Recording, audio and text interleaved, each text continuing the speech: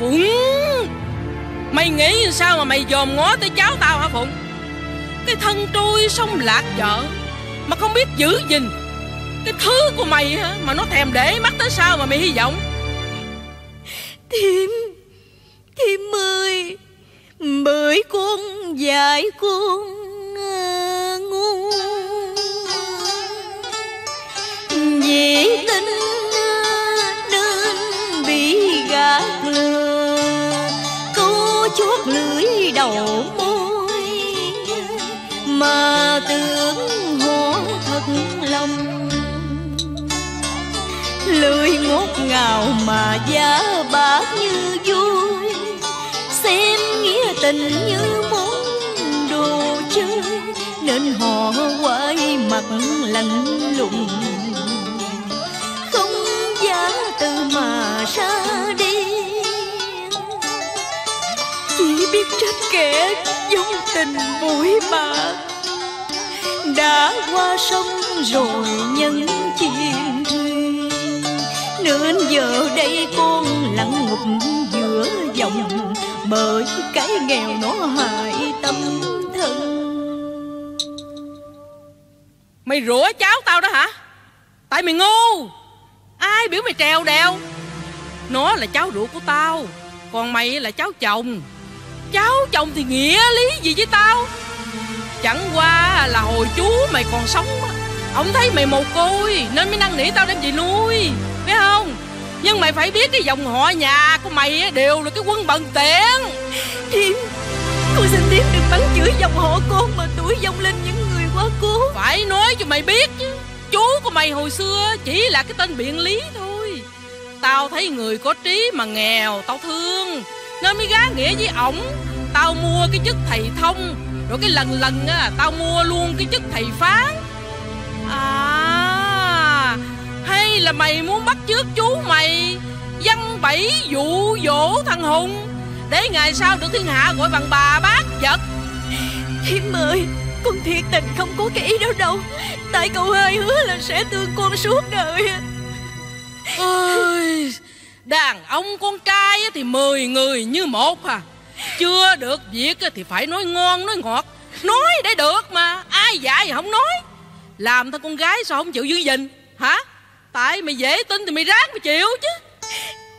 Để cậu hai trở về Con bắt cậu tính chuyện của con với cậu.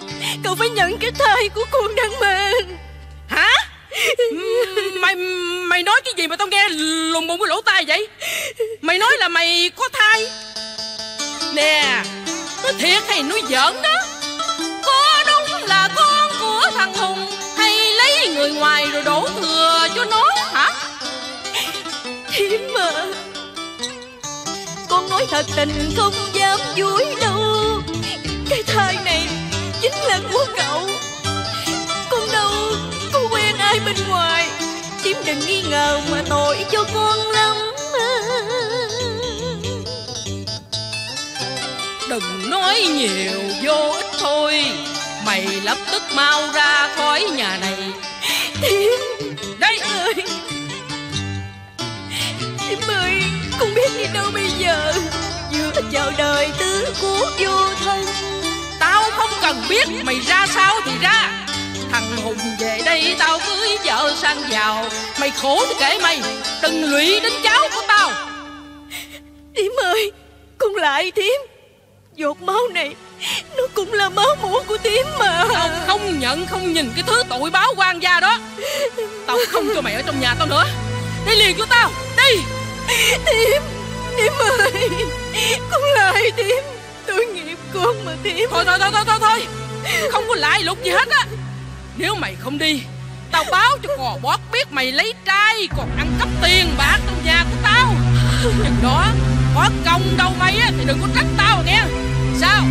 Đi không? Mày đi không? Thiêm ơi Con lại Thiêm đừng có đuổi con. Con biết đi đâu bây giờ. Thiêm ơi. Đi đâu thì kệ mày. Vô cuốn quần áo đi liền mày. Thiêm ơi con lại Thiêm con lại Thiêm mà. Đi mày Ra khỏi cho tao. Đi. Thiêm ơi con lại Thiêm mà. Trời đất quỷ thần ơi. Cái quân gì mà ăn ở bất nhân quá vậy trời Bây giờ em không biết đi đâu và ở đâu nữa. Đi về nhà chị ở. Chị chịu cho em ở nhà chị hả chị ba? Chứ hoàn cảnh của em như vậy thì chị đâu có làm lơ được. Chị ba à Nhưng chị cũng nghèo khổ. Buồn ganh bán bừng Nay lại cô mang em. Hai miệng ăn Chỉ có một gánh chè. Để chị vất vả Em lại ngồi không Em thấy khổ tâm. Hay em tính như vậy nè. Em cũng theo chị. Ừ, cũng gánh gánh chè. Sướng vui cùng chị, Buồn phiền cùng chia. Như vậy nên chị ba. Tội tình chi mà em phải chịu cực. Cứ để chị lo em đừng có bận tâm. Bươn chải ngoài đời em chưa từng qua. Em ở trong nhà, lo cơm nước mà thôi. Thời gian qua mau lẹ chị lo cho em được. Sau khi em sanh xong á Chị sẽ sắp đặt cho cuộc đời em tốt đẹp. Em bây giờ cùng đường rồi Chị cho em nương tựa. Em mang ơn chị lắm. Sau này Em sanh xong xuôi Em sẽ tìm cách trả ơn chị.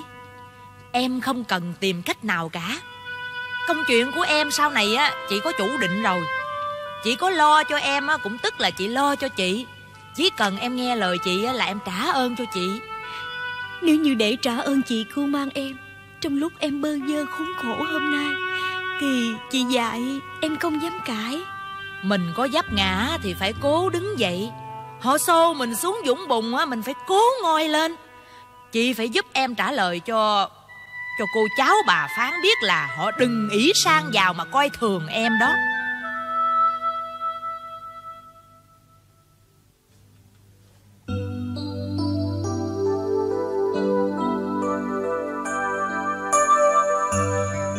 Dạ Em mời thầy uống nước.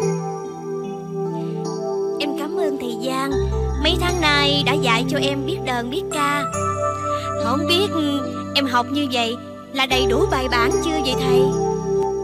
Không biết phải nói như thế nào với cô đây. Vì cái nghề đờn ca này Không thể nói học tới đâu là đủ.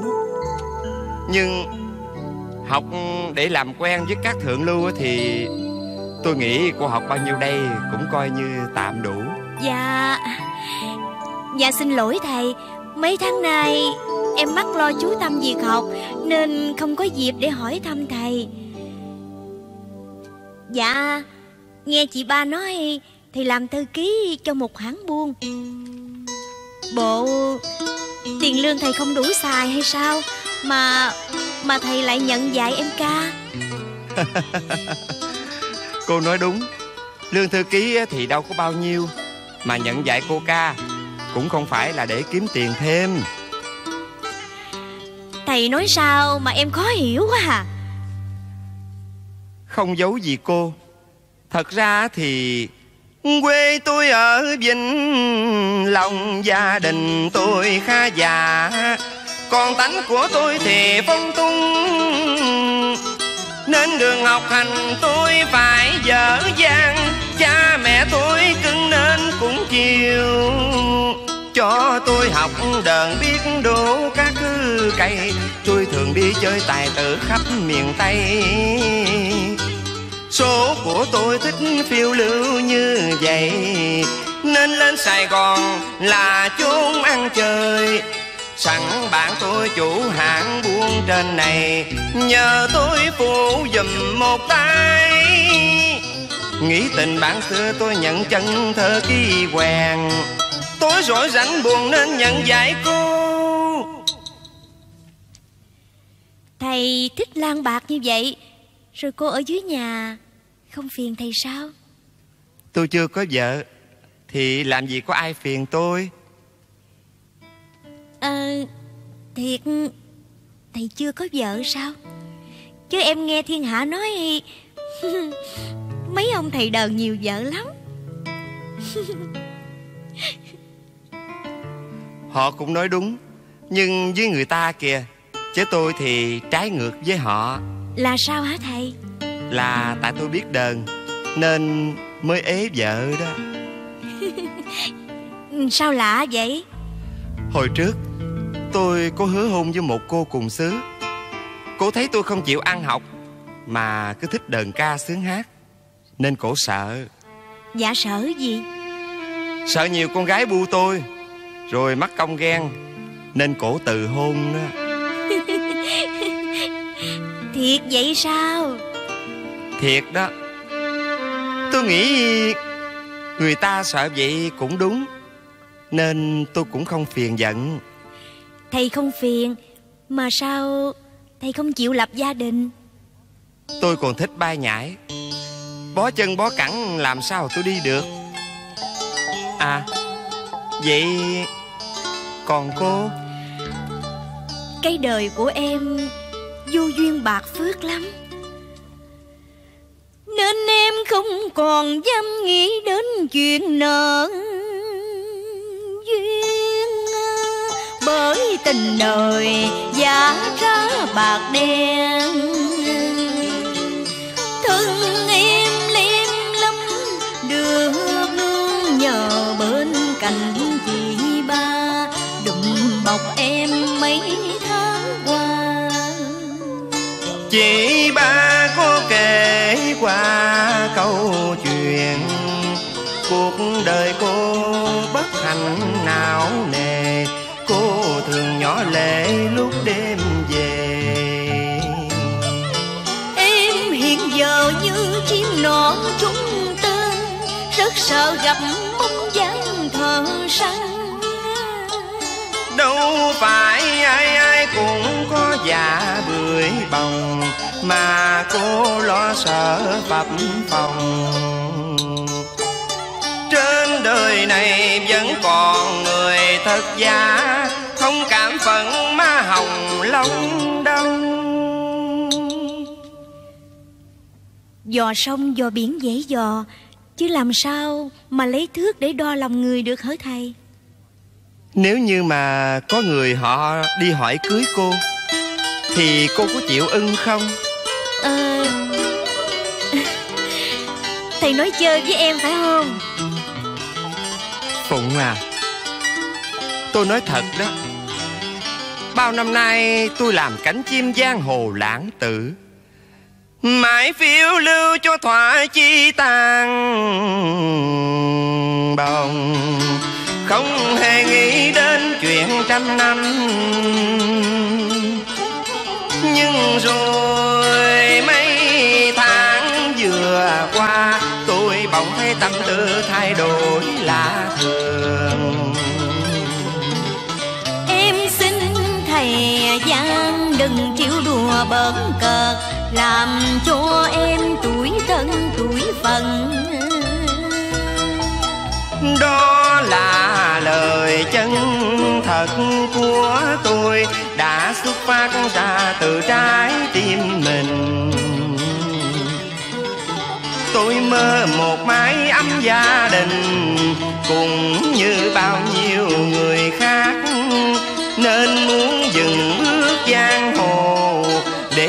Cho mình một mái ấm.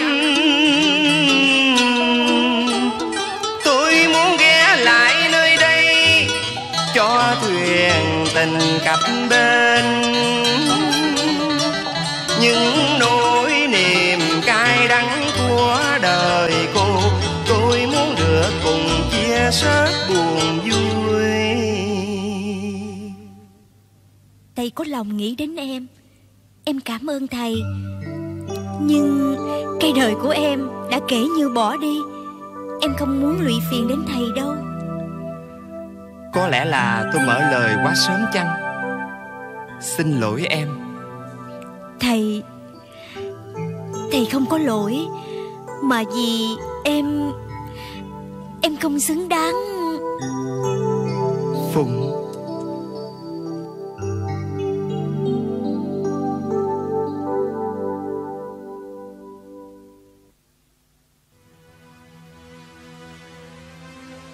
Phụng à Chị có hẹn với ông hội đồng tiến. Chiều nay á Ông đến nhà cho biết em để làm quen đó. Chị định dẫn em đi con đường này thật sao chị ba? Nếu không á Thì chị đâu có nhờ thầy Giang đến dạy em ca. Em Em sợ em làm không được. Chị tin là em làm được. Nhưng em sợ lắm. Em... Làm người phải có lòng tin chứ em. Hồi trước em hứa là nghe lời chị Nên chị đã vẽ sẵn cái tiền đồ trước mặt để cho em đi. Sao bây giờ em lại do dự? Em sợ con đường trước mặt sẽ làm hại nhiều người. Em... em sợ tạo thêm tội lỗi. Hmm, Em có lỗi gì mà nói là tạo thêm tội lỗi? Em nghe lời chị Đổi con để lấy tiền Không phải tội lỗi sao chị ba Em đổi con để nó có được cuộc sống sung sướng, ấm êm, Sao gọi là có tội. Để nó sống bên em, nó phải đói, Nó phải khổ, em đành sao? Nhưng còn con gái người ta, Mình hứa nuôi mà lại. Mướn người nuôi nó, chứ bộ bỏ nó giấc dưỡng đâu mà em lo. Em không có lỗi đâu mà em sợ. Em phải lo cho thân em. Đã bị đời già đạp tham thương, Thì em đừng có phụ lòng chị ba. Và cũng không nên đầu hàng số phận. Chỉ dọn con đường tốt đẹp cho em đi. Rồi cảnh đời ăn trước ngồi trên, Em sẽ ngang hàng với bậc thượng lưu. Xóa bỏ những ngày cơ cực lầm than.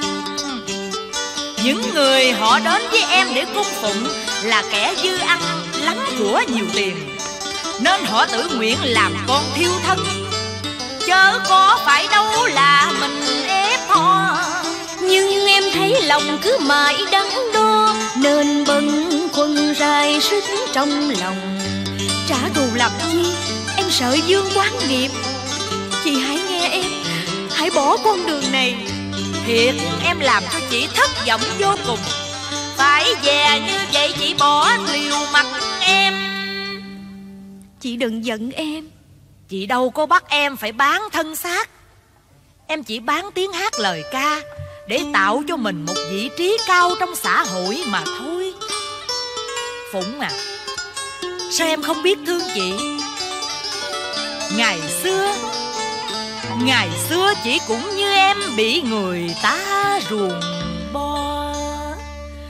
Nhưng chị không có nhan sắc như em Nên phải cam nuốt hận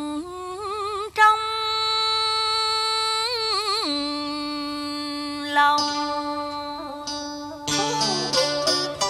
Còn em, sao lại cam tâm với cành bạc phân má hồng? Chị ngỡ đâu em nghe lời chị, Để chúng ta cũng nở mặt nở mày ở quãng đời sau.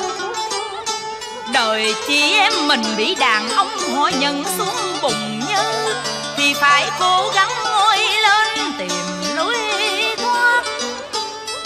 Cái đời của em cũng là của chị Chị thương em nên lo lắng mọi bề. Nếu như còn nghĩ đến chữ ân ngày trước, chỉ giúp em trong cơn hoạn nạn, Thì Phụng ơi, Hãy nghe chị chữ tình dứt bỏ. Đừng yếu lòng mà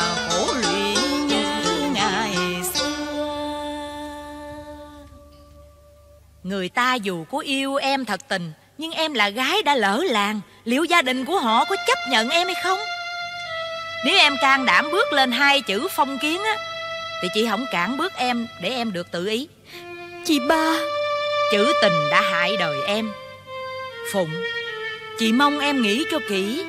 Đừng để chữ tình nó cản trở tương lai của mình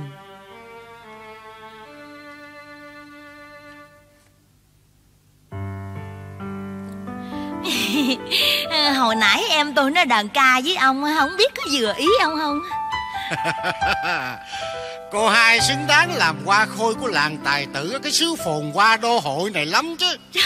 Ông quá khen chứ. Em tôi đờn ca còn non nớt lắm Chỉ sợ ông chê mà không chịu đến thăm chị em tôi đó chứ. Đâu có Tôi sẽ đến thường mà. Ừ.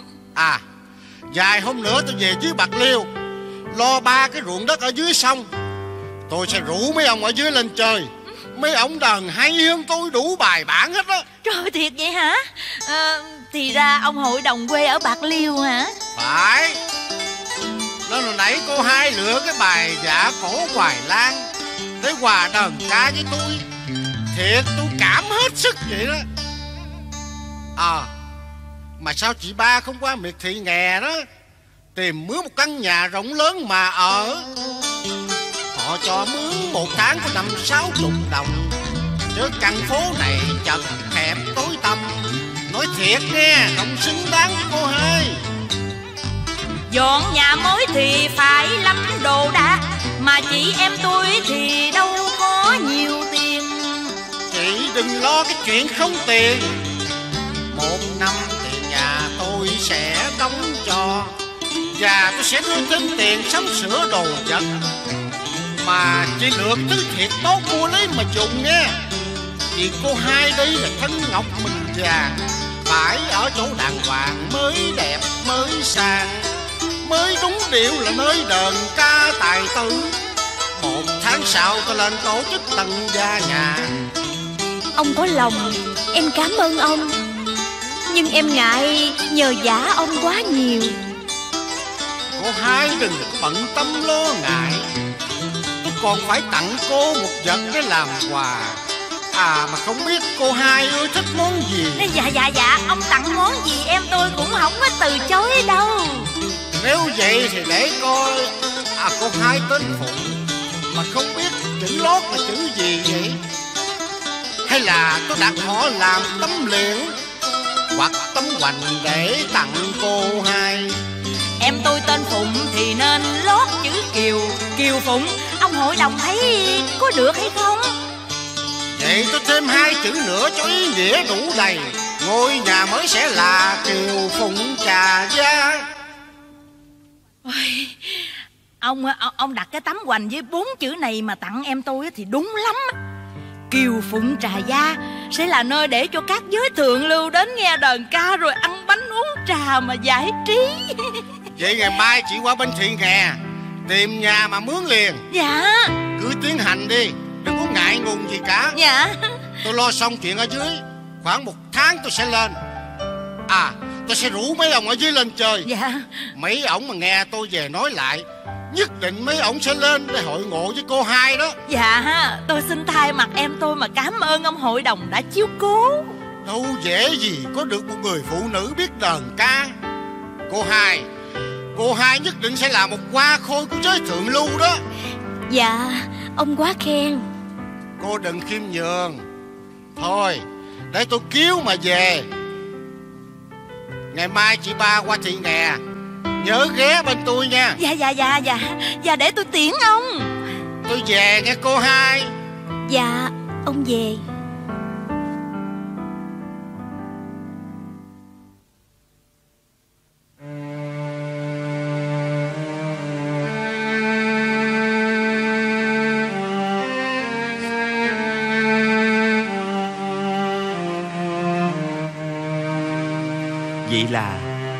Em chấp nhận bước đi Con đường chị ba đã dọn sẵn cho em. Em không thể phủ nhận Lời nói của chị ba em. Vậy là hạt giống tình yêu mà tôi đã ươm mầm. Sẽ không có ngày đơm bông kết trái. Đời em có ra gì Mà anh thương tiếc? Không chọn con đường này Em còn con đường nào khác để đi? Phùng con đường trong trái tim anh đang mở ngõ đón em về chung lối mong. Vì những ngày tháng bên nhau qua âm điệu thanh trầm. Anh cảm nhận ra em chính là mạch suối ngầm. Đã thấm mát lòng đất khô cằn cháy sàn kể từ ngày lỡ phận trái duyên. Dạy em ca mà lòng vọng tưởng thiết tha, qua bức tranh nào tưởng của đêm trăng huyền diệu một mái gia đình ấm cúng bên nhau. Tiếng nhạc lời ca hòa quyện dưới trăng ngà.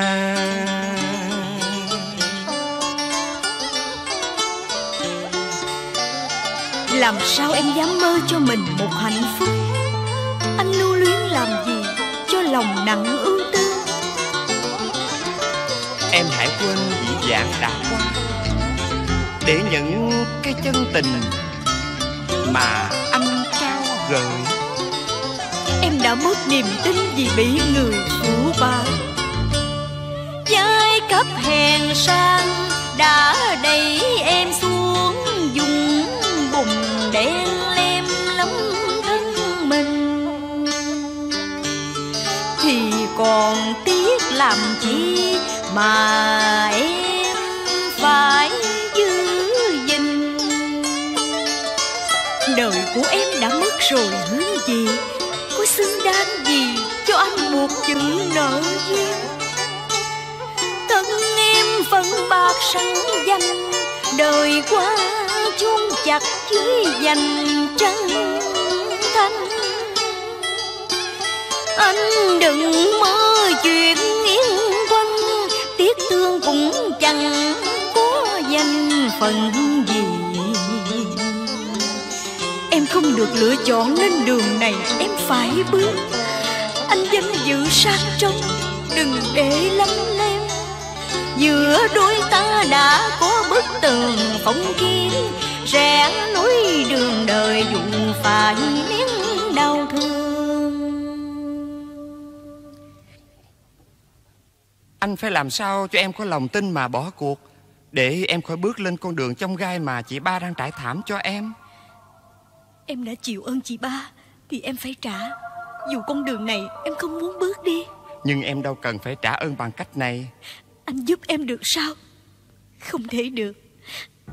Anh về đi. Thầy Giang Tương lai của con Phụng đang bắt đầu rạng rỡ. Thầy nên mừng cho nó mới phải. Chứ sao thầy lại cản bước tiến của nó? Chị ba Tôi không muốn phụng dấn thân vào con đường này Vậy con đường mà thầy muốn dắt nó qua Thầy cho nó được gì? Tôi cho phụng tình yêu của tôi. Tình yêu? Tình yêu không thể bù đắp lại được Những gì mà nó mất mát. Mà cái nó cần là danh dự. Nó phải được người ta trọng vọng. Tương lai nó phải rực rỡ như những ánh đèn màu đêm đêm sáng chói ở cái đất phồn hoa này. Nhưng làm con người thì phải có tình yêu. Không có tình yêu thì cuộc sống con người đâu còn hơn gì nữa chị ba Tôi yêu Phụng. Tôi hứa sẽ đem lại hạnh phúc cho Phụng. Chị tin tôi đi. Thầy thì cũng như họ. Chẳng qua là vì một phút yêu đương bồng bột. Chứ thật ra thì các người có trách nhiệm gì đâu. Chị ba ơi Chị đừng quơ đùa cả năm trong tay. Mà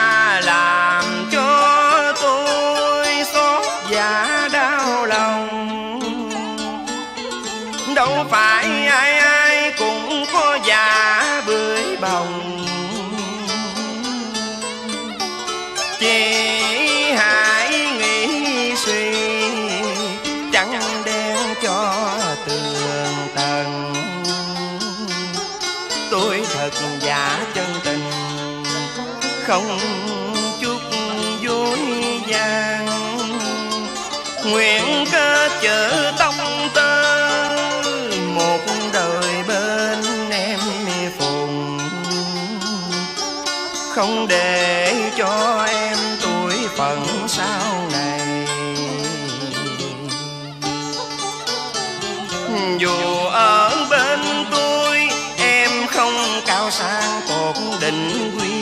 hoàng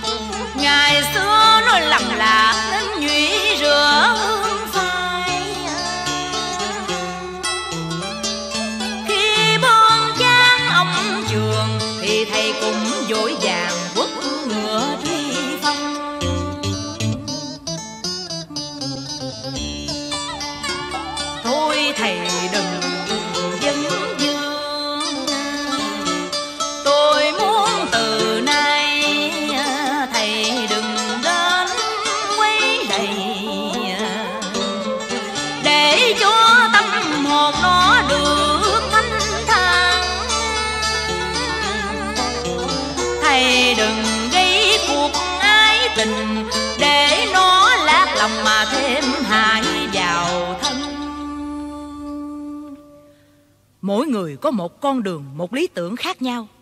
Thầy không nên bắt người ta phải theo ý mình. Cảm ơn thầy.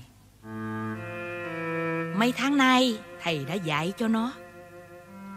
Kính trọng thầy Tôi phải kính. Nhưng xin nhắc lại thầy Là không vì thế mà thầy lại dạy khôn cho chị em tôi. Vài ngày nữa tôi sẽ dọn lên nhà mới ở thị nghè Và cuộc sống mới của chúng tôi sẽ bắt đầu từ đó. Nếu thầy không ngại cách sống của chị em tôi, Làm hư cái thanh danh của thầy thì Hôm đó xin mời thầy ghé bước đến chung vui. Và hôm nay coi như là kết thúc việc thầy dạy cho con Phụng. Mong thầy hiểu mấy lời tôi vừa nói. Tôi hiểu. Chào chị.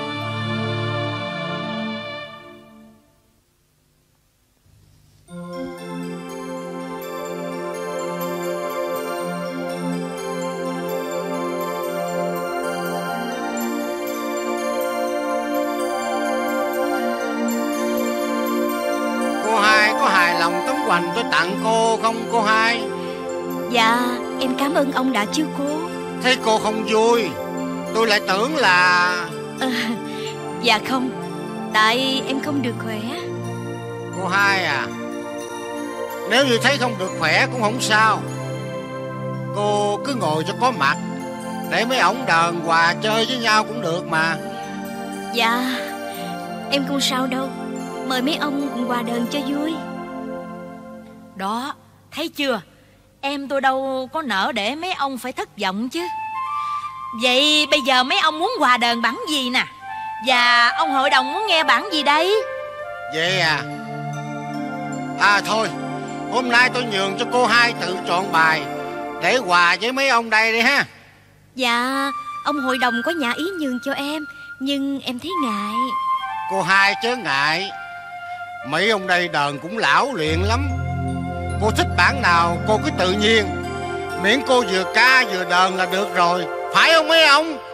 Phải đó cô hai Vậy em xin hầu cùng quý ông bản chiêu quân. Bản chiêu quân? Mà lời cũng là tâm sự của nàng chiêu quân. Tự dương tường nữa đó. Xin cho một tràng pháo tay nữa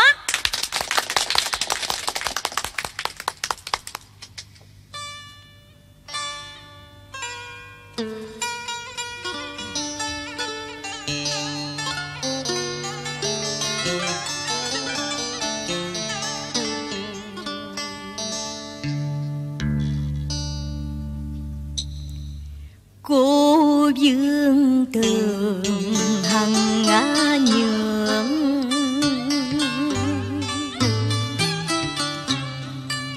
thương cao tài mà không màng. Con quan cừu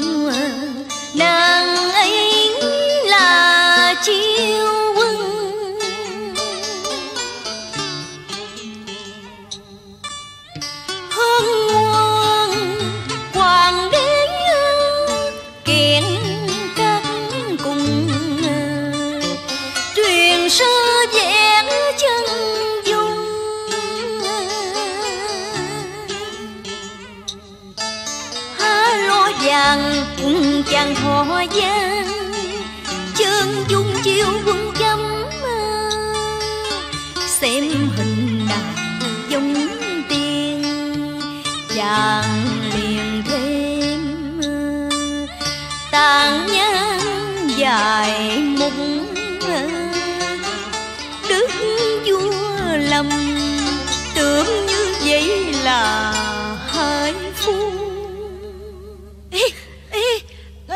em, có sao không hả Phụng? Ờ, Cô hai mệt rồi. Thôi để chúng tôi về cho cô nghỉ nha. Vậy là mới kết cục vui rồi Ổn quá à. Không sao Còn thiếu gì Diệp chứ? Mình không nên ép cô hai. Em em xin lỗi các ông. Đâu có gì Phải để cô dưỡng sức chứ. Ông cứ ở lại chơi. Em ra ngoài một lát cho thoáng là khỏe lại thôi. Em xin phép à, Không sao đâu không sao đâu. À, Các ông cứ tự nhiên Uống trà ăn bánh Coi như là giải lao vậy nha. Dạ xin mời.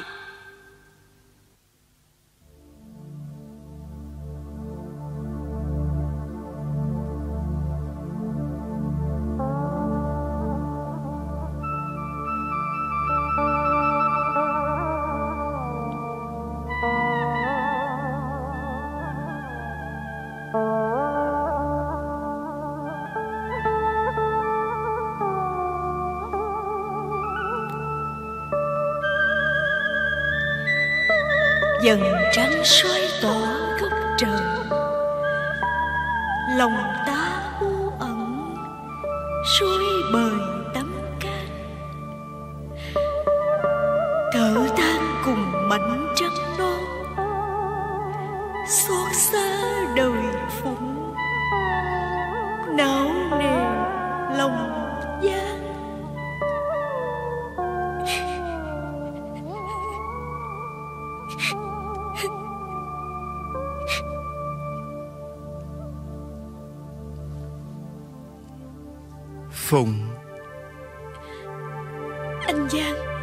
anh vừa đến. Phùng Anh đến đã lâu Nhưng anh chỉ muốn đứng bên ngoài Để nghe em ca. Chứ anh không dám bước chân vào ngưỡng cửa trà gia. Cái nơi họp mặt của giới thượng lưu phong nhã. Xin anh đừng nói những lời cay đắng. Hãy chấp nhận cho em con đường mà em phải đi qua biết chứ. Anh biết mình không thể là niềm tin cho em làm điểm tựa. Thì nên nuốt ngạn vào lòng. Anh tìm con đường phiêu bạc. Vùi chôn vị đắng ân tình. Đêm này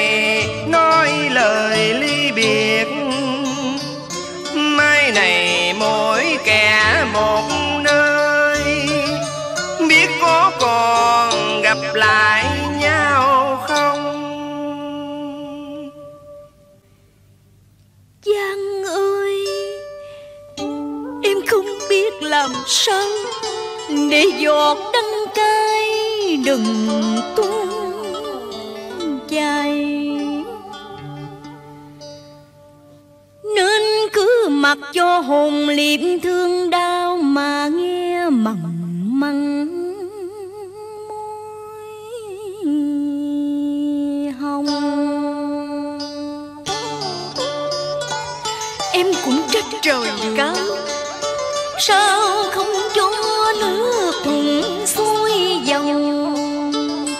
Đã không cho mình buổi đầu gặp gỡ, Sao còn tạo cho nhau cái giây phút đơn đau Không lẽ những cuộc tình đều phải gặp trái ngang Là vì tạo quá bài trò trêu chọc. Cho anh hồng phải ủ dột sắc, hương cho con bướm đa tình phải ủ buồn rũ cánh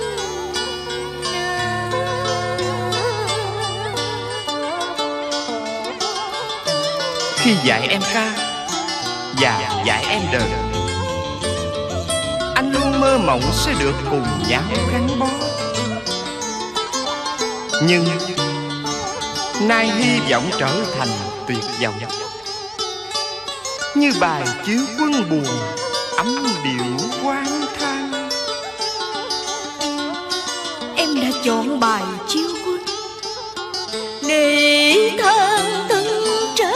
phân.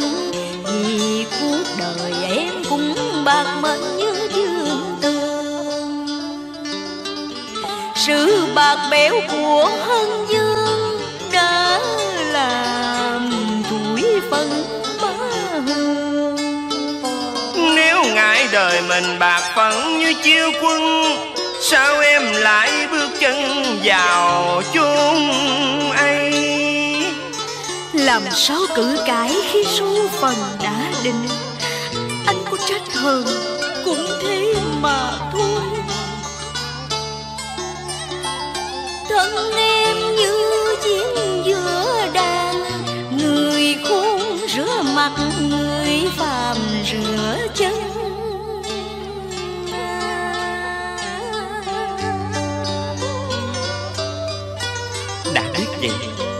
Sao không quay đầu trốn chạy? Không tránh xa trốn trụy lạc ăn chơi Lại muốn làm tiếp qua bên ánh đèn mờ. Cho ông bướm bẻ cành hái nhụy. Xin anh hiểu là em không ban thân nuôi miệng Chỉ mượn tiếng nhạc lời ca cho họ mua vui. Cô nói gì đi nữa thì em cũng đã chọn rồi cách sống anh chỉ mong em giữ gìn phẩm hạnh của em.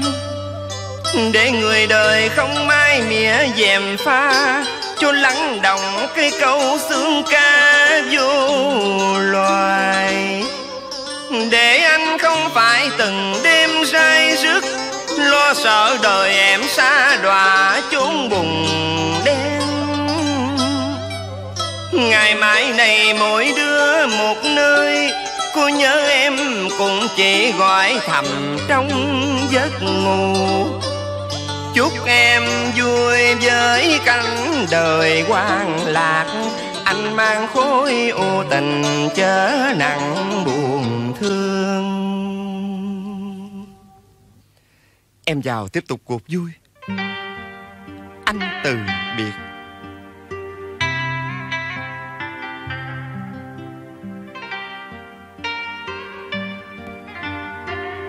Hoài Giang.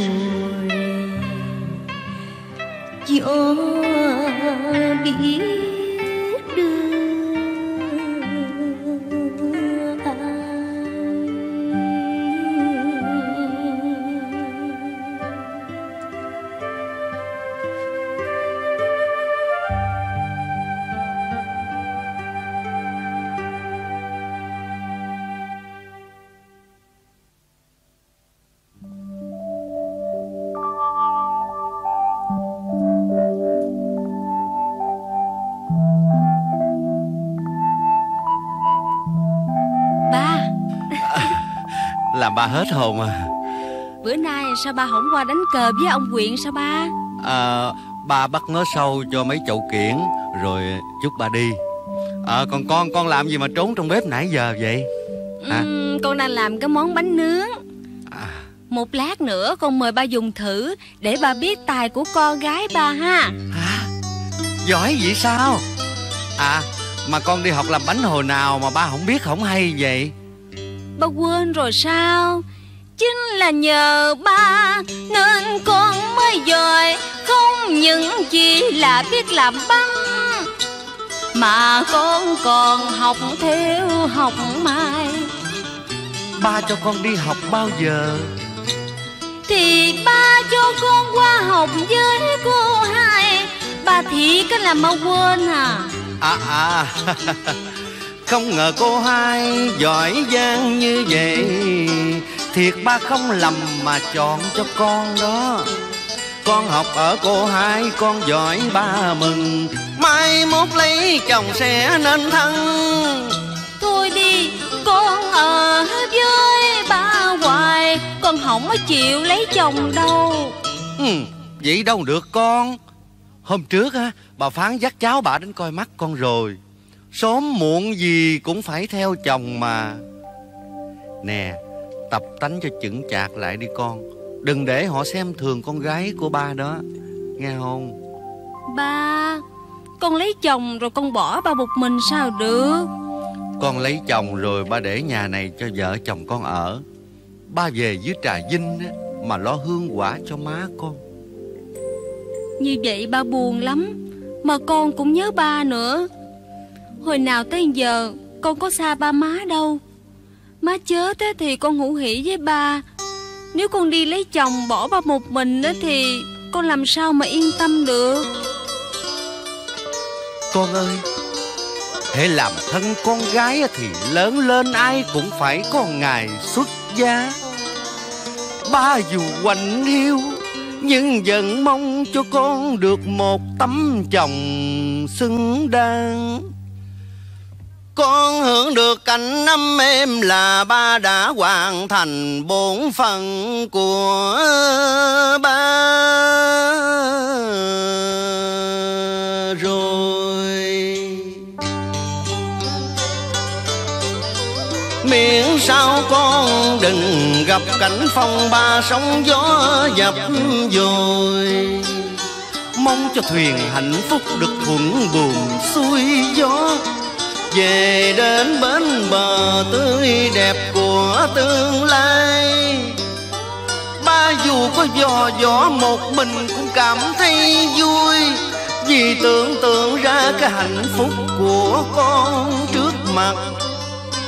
Ba đã giữ thân phận mấy năm nay, Để con được vuông tròn không mất tình phụ tử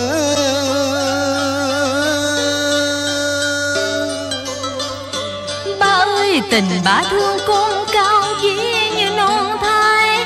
Vì con mà ba phí cả đời ba. Mẹ con qua đời mấy năm nay Ba quyết làm gà trống nuôi con. Là vì ba sợ cảnh mẹ ghẻ con chồng Làm ảnh hưởng đến đời con thơ vô tội. Ba nuôi con khôn lớn dựng cho con nên đôi nên bằng. Thì ba tìm một người để san sẻ Chứ con không muốn ba cô đơn đi suốt đoạn đường đời. Con ơi Bông xế hoàng hôn còn Con tính chi mà con lại vẽ vời Tuổi ba năm mươi đâu thấy gọi là già được. Ba nên tục quyền nếu có người ý hợp với ba thì con mới yên lòng cất bước du quy Không còn lo sợ ba một thân quanh què Nếu thương con thì xin ba hứa Ba hứa một lời cho con được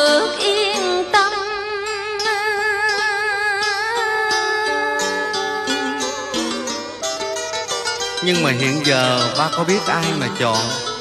Thì làm sao mà hứa với con được chứ? Ba Nếu như ba chịu hứa Thì con chắc là phải có mà. Con nên nghe lời ba mà sắp xếp chuyện của con. Còn phần ba Phần ba thì để từ từ rồi sẽ tính. Hơn nữa sự ra đi của má con ba vẫn chưa nguôi được. Cái hồn nó cứ lẫn quẩn quanh ba thì tính toán làm gì? Cái chuyện bước thêm Cho cực kỳ cực lòng thêm nữa. Ba chỉ muốn sống một cuộc đời bình lặng với tình láng giềng đang có ở quanh đây.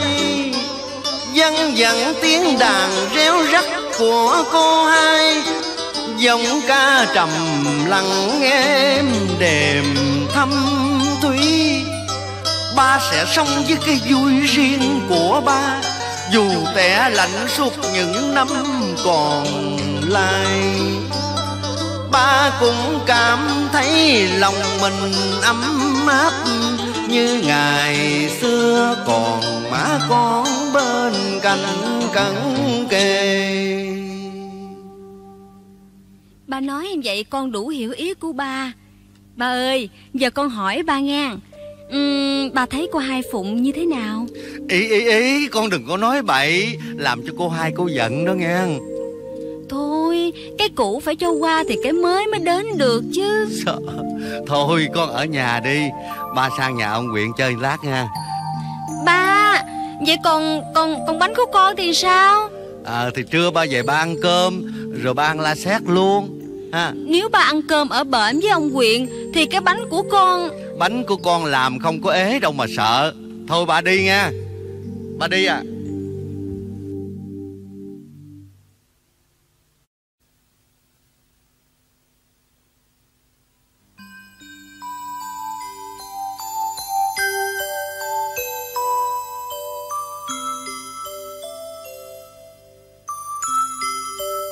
Chào em Nè Đừng có nói là em không nhớ tôi à nghe Làm sao mà em quên cậu cho được? Cậu là người mà hôm trước bà quyện đưa đến để coi mắt em mà. Cảm ơn. Cảm ơn em còn nhận ra tôi. Dạ mời cậu ngồi. Uhm, Ba em vừa đi khỏi á. Không sao. Sẵn đi ngang qua đây thấy em nên tôi vào nhà Vì không lẽ thấy mà đành làm lơ đi luôn Thì coi không có được. Cảm ơn cậu có lòng. Đúng. Cái lòng sẽ dẫn lối cho cái tình nó đến. Trước sau gì mình cũng thành đôi à Nhưng em với cậu biết có hợp tánh hợp tình thuận lòng với nhau không hơn nửa vợ chồng. Là do duyên số, không có nợ duyên, chỉ uống lời mà thôi.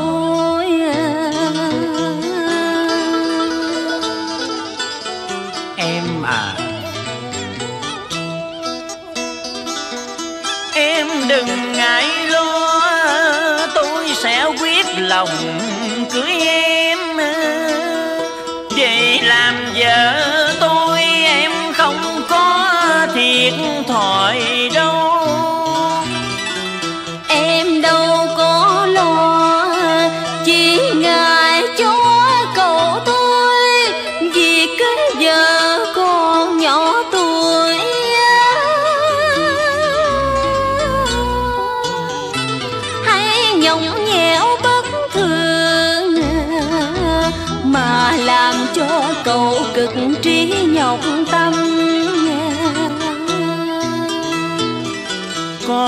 vợ như em, Cực trí cũng không phiền.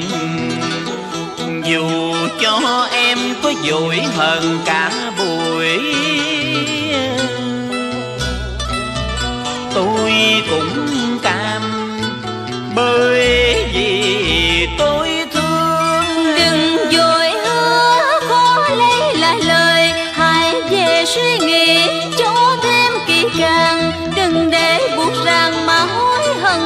sao? Phần gái mong manh, chỉ biết hương thân vào bóng cõi tùng.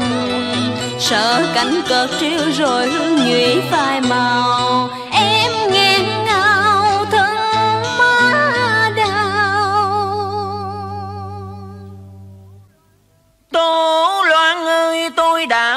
Cùng em dựng xây một thiên đường hạnh phúc Tôi không thể để cho đời em chịu đắng cay văn phù mây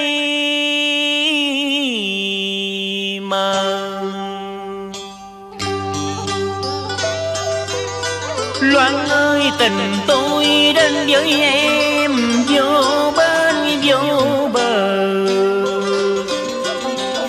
sẽ là dần mây ấm phủ đời em. Mãi mãi Không để cho bụi bùng lem lăm gót chân em. Chúng ta sẽ là một đôi vợ chồng lý tưởng. Nam thanh nữ tú phải khen thầm hạnh phúc của đôi ta. Ba mươi mấy tuổi đời mới tìm được nơi trú ẩn cho trái tim tôi thắp sáng lửa ân tình nghe mấy lời cậu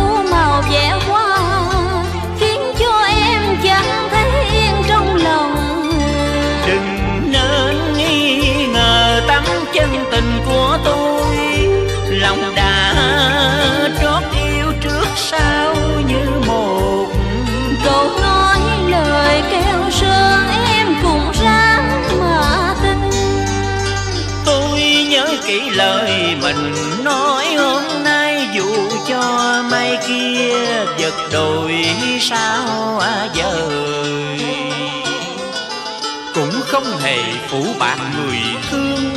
Sẽ chung chăn gối một đời ấm lành. Buồn vui chia sẻ cùng nhau Giữ cho trọn vẹn trước sau cuộc tình. Để chứng minh lời cậu nói vậy thì xin cậu cho em một thời gian để em suy nghĩ lại. Một thời gian là bao lâu vậy? Ừ, ngắn là một năm còn dài á thì Một năm cũng đủ cho tôi mòn mỏi rồi. Có cần như vậy không? cần chứ. Để thử coi cậu có thương em thật tình không? Tình yêu mà em làm như là vàng đem ra thử lửa. Phải thử coi đủ tuổi không? Vàng mà sao giả được em? Giả chứ sao không?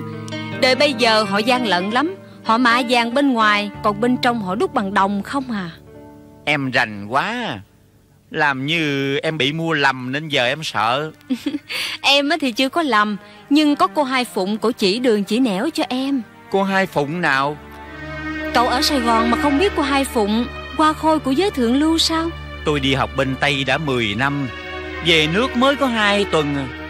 Ờ Mà nhà cổ ở đâu vậy em? Ừ, ở căn nhà lớn bên kia kìa. Bộ cậu có quen với cô hai hả? Không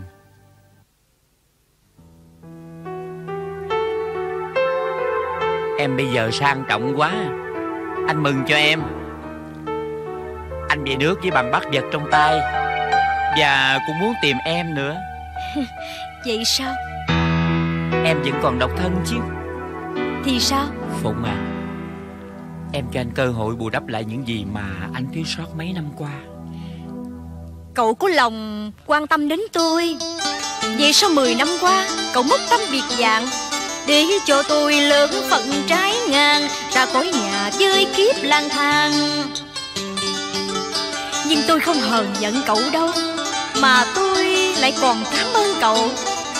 Nhờ cậu mà ngày hôm nay, Tôi được sống trong cảnh ấm êm. Lời em nói không hờn mà giọng lại đắng cay. Ngày đó anh đang dối lòng thì cô hai cấm cản anh. Cô biểu lo học cho thành danh, Nếu không á thì cổ bỏ mặt. Chứ phải nào anh phụ bạc em, Xin đừng nghĩ quay cho anh. Nếu như tôi không nhờ Chị ba cứu vớt đời tôi. Thay đổi hoàn toàn, Cởi bỏ cái lớp khốn khổ ngày xưa. Vì ngày hôm nay, Tôi đâu có ngồi đây để cho cậu biện minh. Mà đã một rửa thay thi, Mới lòng tin con người bội bạc Phụng ơi, xin em bớt giận. Đừng nặng lời mà dạ anh đau. Cô hai bắt anh phải đi học bên Tây, Thì làm sao mà liên lạc được? Giờ gặp lại nhau thiệt anh đây vui mừng vô hạn. Hãy quên đi chuyện buồn đau Mà nối lại chữ tình xưa. Tôi đã nhàm chán quá rồi. Cậu đừng nói nữa. Cậu về đi. Anh không thể về. Nếu như mà em chưa nói lời tha thứ. Cậu là người ăn học ở bên Tây về. Lẽ ra phải biết lịch sự chứ.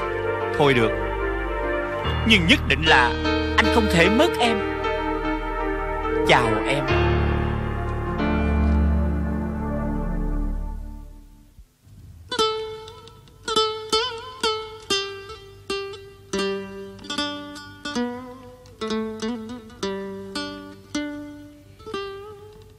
Ngón đờn của ông cũng tươi lắm. Sao bao lâu nay em không nghe ông đờn? Hồi trước á Lúc còn là tổng sự ở Cần Thơ Tôi cũng hay đờn chơi lắm. Rồi vợ tôi mất Tôi buồn Nên xin chuyển về Sài Gòn. Làm việc được mấy năm Tôi xin hưu non Mà về miệt thị nghè ở. Những năm đó Tôi không đờn nữa Vì vợ tôi mất. Đờn không có ai nghe. Nói vậy Bà nhà cũng thích nghe đờn ca sao? À Vợ tôi thích lắm chứ nên tôi mới đi học về đờn cho bà nghe. Không ngờ đường tơ đứt đoạn, Nên Nên tôi không đờn nữa. Mấy năm nay ở gần cô, Nghe bên nhà đờn ca Làm tâm hồn tôi như sống lại. Nhưng chỉ ngồi nghe thôi Chứ không dám đờn Sợ lộn ngón làm cho người nghe khó chịu. Nói vậy chứ Em thấy ông rau ngón ông còn tốt lắm. Nghe chữ đờn của ông giống một người.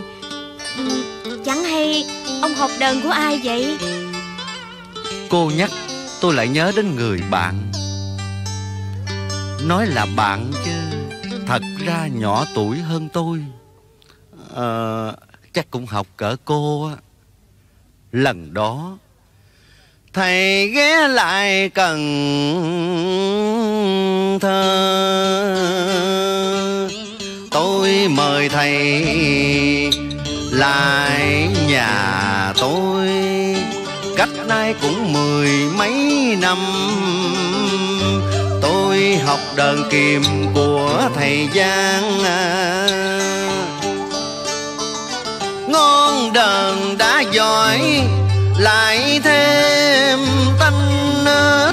hiền lành, Nên tôi kết bạn cùng thầy. Dù tuổi đời trên lệch với nhau, Bây giờ tôi không biết thầy Giang hiện ở nơi nào. Thầy có còn ở Sài Gòn Hay đã về quê thầy không liên lạc, Nên tôi không biết thầy ở đâu. Tôi định vài bữa nữa về Cần Thơ, Thế nào cũng ghé lại Vĩnh Long. Hôm trước tôi gặp bạn của thầy. Họ nói khoảng 10 năm trước, Thầy bị thất tình rồi nghỉ làm việc ở hãng luôn. Tôi nghĩ chắc là Chắc là thầy về quê. À Mà mà cô có biết thầy Giang không vậy? Ờ à, à, Dạ không. Tại nghe nói người đờn giỏi Nên hỏi thăm vậy mà. Vậy sao? À Việc Tố Loan có người đi nói đó Ông có định gả hay không? Con gái lớn Có người đi nói thì tôi cũng muốn gả cho rồi. Ngặt con nhỏ nó cứ chần chừ hoài. Chần chừ chuyện gì vậy ông? Nói cô đừng cười nha. Nó Nó bắt tôi tục quyền Thì nó mới yên tâm mà lấy chồng. Tú Loan thật là hiếu thảo. Vậy rồi Ông có tính tục quyền hay không? Tôi sợ tục quyền rồi thì mất tự do Không được thông thả mà qua nghe cô ca đó chứ. Nếu như có người bầu bạn thì Phải là người có chung sở thích với mình. Vậy mới có tâm đầu ý hợp được. Cô thấy tôi nói có đúng không vậy cô hai? Ờ, Dạ Ông nói phải. À, Bây giờ tôi chỉ mong sao Con Tố Loan á Nó chịu ưng cậu hai Hùng Cho đúng với tâm nguyện của mẹ nó. Ông nói vậy là Ông muốn gả Tố Loan cho cậu hai Hùng hả? Mẹ nó và bà Phán Ái là người cùng xứ Nên có hứa với nhau chuyện Tố Loan với cậu hai Hùng. Vì vậy cho nên Khi cậu đi học ở bên Tây về Bà Phán dẫn cậu tới nhà Nhắc chuyện hứa hôn hồi thuở trước. Thì ra là vậy Tôi cúng mừng cho ông, Có rể học bên Tây Nếu họ nhắc chuyện hứa hôn Thì ông phải giữ lời. À thì vậy đó. Mình là chỗ người lớn. Làm sao mà ăn nói ngược xuôi, Nhưng ngặt cái con nhỏ nó Nó lâu thôi. Nên tôi muốn cô giúp dùm cho tôi. Nói vài lời, khuyên nhủ Tố Loan. Nó mến cô nhất định sẽ nghe lời. Gả nó lấy chồng cho yên chỗ yên nơi. Ông Ông nhất định gả Tố Loan chỗ này à? Dạ phải.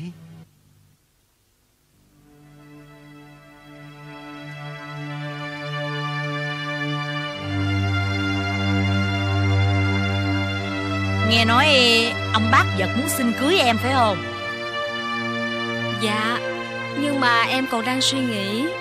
Còn suy nghĩ gì nữa? Nếu phải chỗ phải nơi á, thì em nên ưng chứ. Mà ông bác vật đó tên gì? Con ai vậy?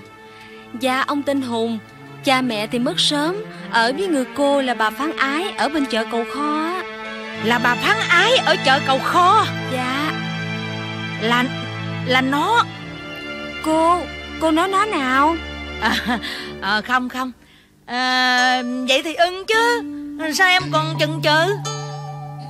Em sợ lấy chồng rồi Bỏ ba em một mình trơ trọi. À Ra là vậy à. Nè Qua hỏi thiệt nha.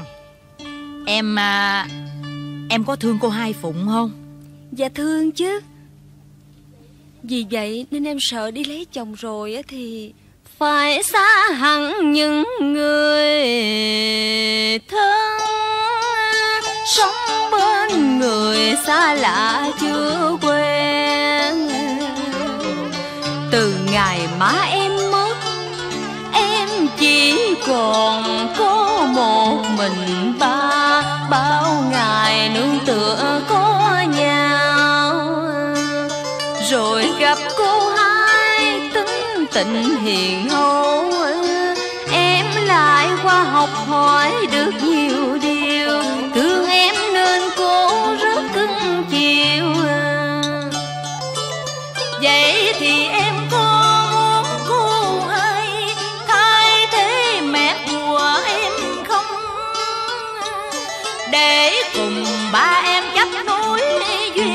Duyên tình, Cho ba em đỡ đơn lẻ một mình.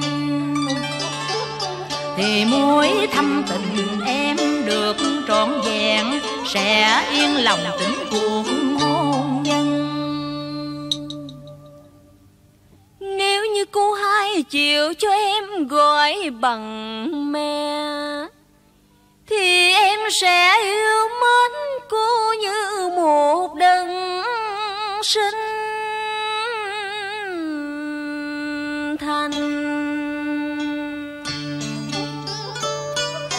Vì cô đã dạy dỗ em tỉ mỉ ngon ngành, Từ mái giá nấu ăn đủ đầy công ngôn dung hành.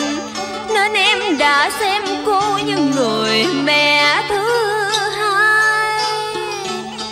Má em qua đời mất mát tình thương. Nay gặp cô hai, đời em có phước. Bàn tay cô xoa dịu vết thương ngại cũ Cho em và ba tìm lại phúc em đời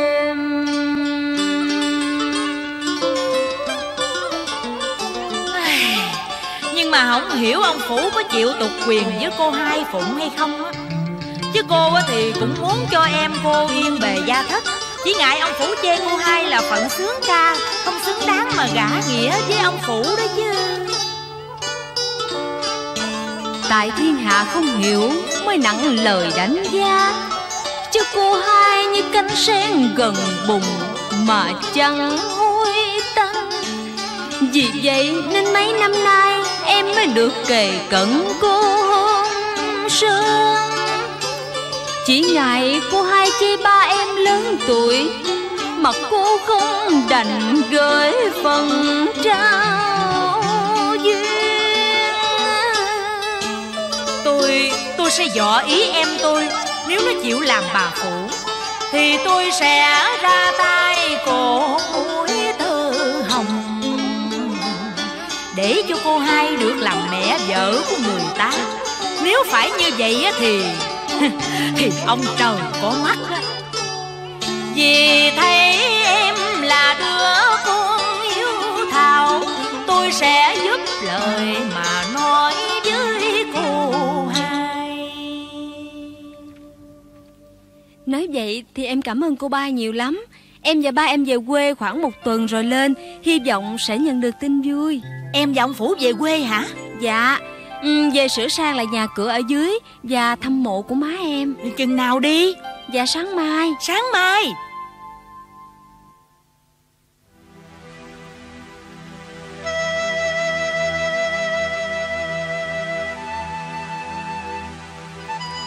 Sau cái lần gặp thầy ở Sài Gòn Rồi không gặp nữa Đến nay cũng có 10 năm rồi hả thầy Giang? Rồi thầy đi đâu vậy Dạ tôi qua Nam Giang. Ý trời Cơn bão ái tình nó đẩy thầy qua tuốt bển lận hả? Ủa Sao ông biết? Tôi đến nhà luôn Họ nói mới biết. Ờ Rồi thầy về hồi nào? Sao không ở Vĩnh Long mà lại về đây? Ba tôi bệnh nặng. Anh hai tôi nhắn tôi về. Nửa năm sau thì ba tôi mất Giáp năm xong, Tôi định đi nữa Thì anh hai tôi cản. Kế đó, Có anh Hương Tuần Cam, Anh nói muốn bán miếng đất ở bên Bình Thủy này. Không biết làm sao mà Tự nhiên tôi lại muốn mua.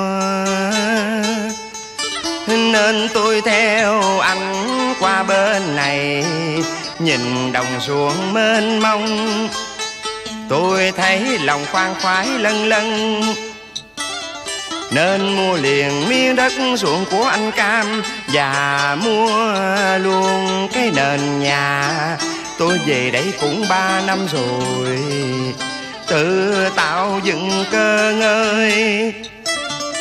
Tôi nghĩ dù có đi xa Thì buồn cũng vẫn cứ buồn Nên mấy năm mê rồi. Tôi bỏ sức làm để tìm vui. Không ngờ cái thu điện viên Đã giúp tôi khuây khóa nỗi lòng, Hay là cái xứ bình thủy này? Tôi với nó có duyên nếu thầy tin vào chuyện căn duyên, Thì có lẽ ở tại nơi này Thầy sẽ tìm được một người Để cho thầy ra nghĩa. Nên ông trời mới đưa đẩy Mới xui cho thầy đến nơi đây, Làm cho tâm trí thầy vui. Quên mối ưu tình ngày xưa Vui thì có vui Nhưng quên thì chắc khó. Ai biểu thầy đa tình? Không phải đa tình Mà đó là chung tình. Nhưng cái tình của tôi Chỉ một mình tôi biết Chứ người ta làm sao hiểu được lòng tôi. Ban ngày tôi tìm thú vui ngoài đồng án Thì đêm đêm Tôi một mình đổi bóng với ngọn đèn. Tay ôm đờn kìm mình, khải mình nghe. Mà nhớ người xưa nơi đô hội muôn.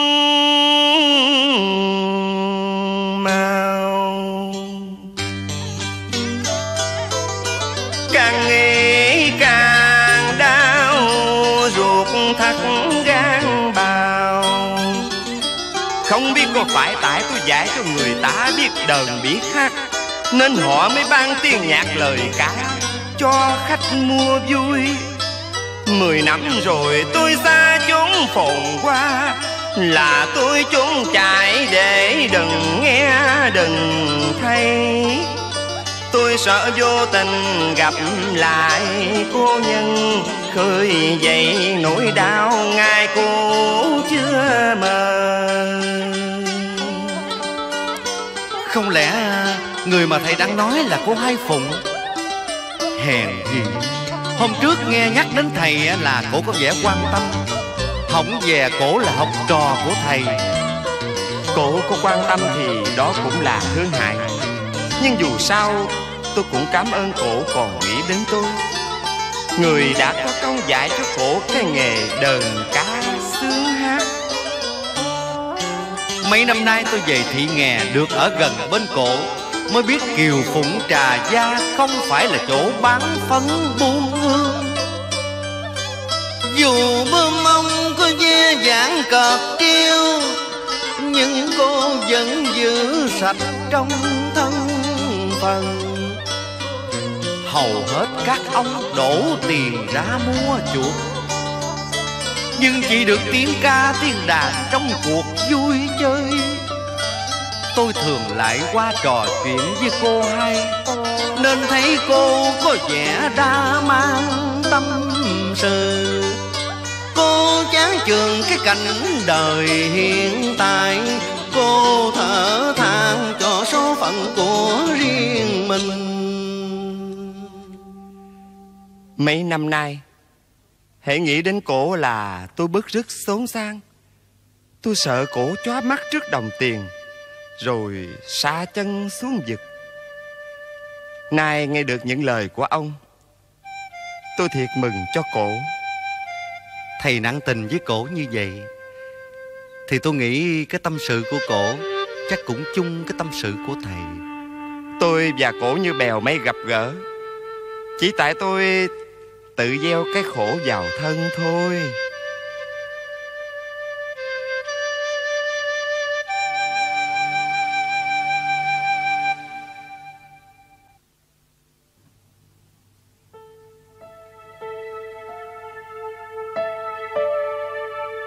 Phụng Chuyện chị nói hôm trước em tính sao rồi? Tính chuyện gì? Thì cái cái chuyện làm bà phủ đó Chị Chị nghĩ sao mà tính chuyện đó? Tính chứ sao không?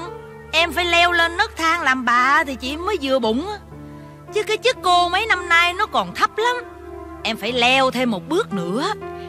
Để làm gì? Để trả thù. Bắt cậu Hùng gọi em làm mẹ vợ. Em không làm chuyện đó được đâu. Ai làm thì để cho họ nhận hậu quả. Chị biết không? Bao năm nay Trong lòng em thê thảm lắm Mỗi khi em nhớ lại con em. Nên bây giờ em chán nản lắm Em không muốn gì nữa hết á. Chị đi chùa đi núi là để cầu nguyện cho em Là vì muốn cho em vui vẻ Cho em sống sung sướng. Sao em không hiểu cho lòng của chị Mà lại nói ra câu bi thảm vậy? Mình làm chuyện quấy Bỏ con Rồi hại người phải tán gia bại sản Để trả thù đời. Vậy mà đi cầu trời khấn Phật Giúp cho mình vui vẻ Trời Phật giúp sao chị? Cái gì mà quấy? Hồi đó không cho con á, Rồi liệu em nuôi nó họ nổi không? Còn họ tán gia bại sản là tại họ. Họ thích hưởng thụ cái thú phong lưu Thì họ phải bỏ tiền ra. Mình có cướp, có giật, có lường gạt ai đâu. Sao lại có tội được chứ? Nhưng mà Chị ba ơi.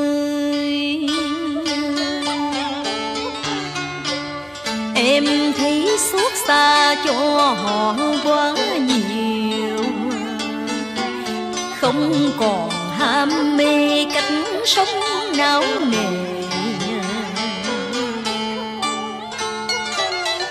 Một kiếp sướng ca làm vui cho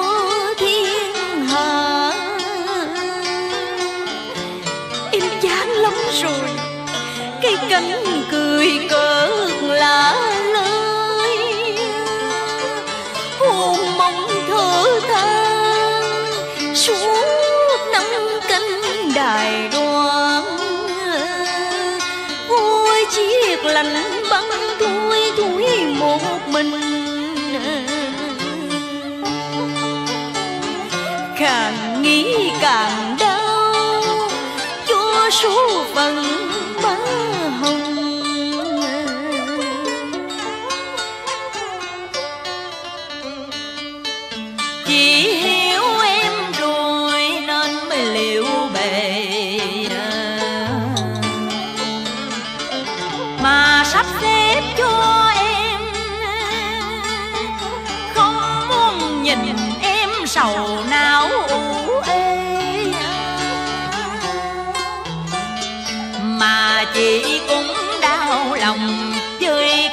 đời trống trải của em.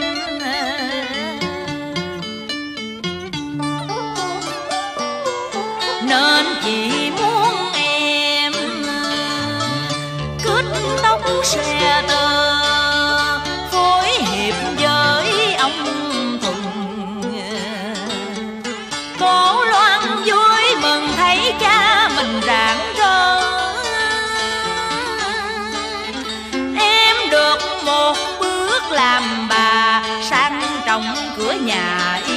phận của em.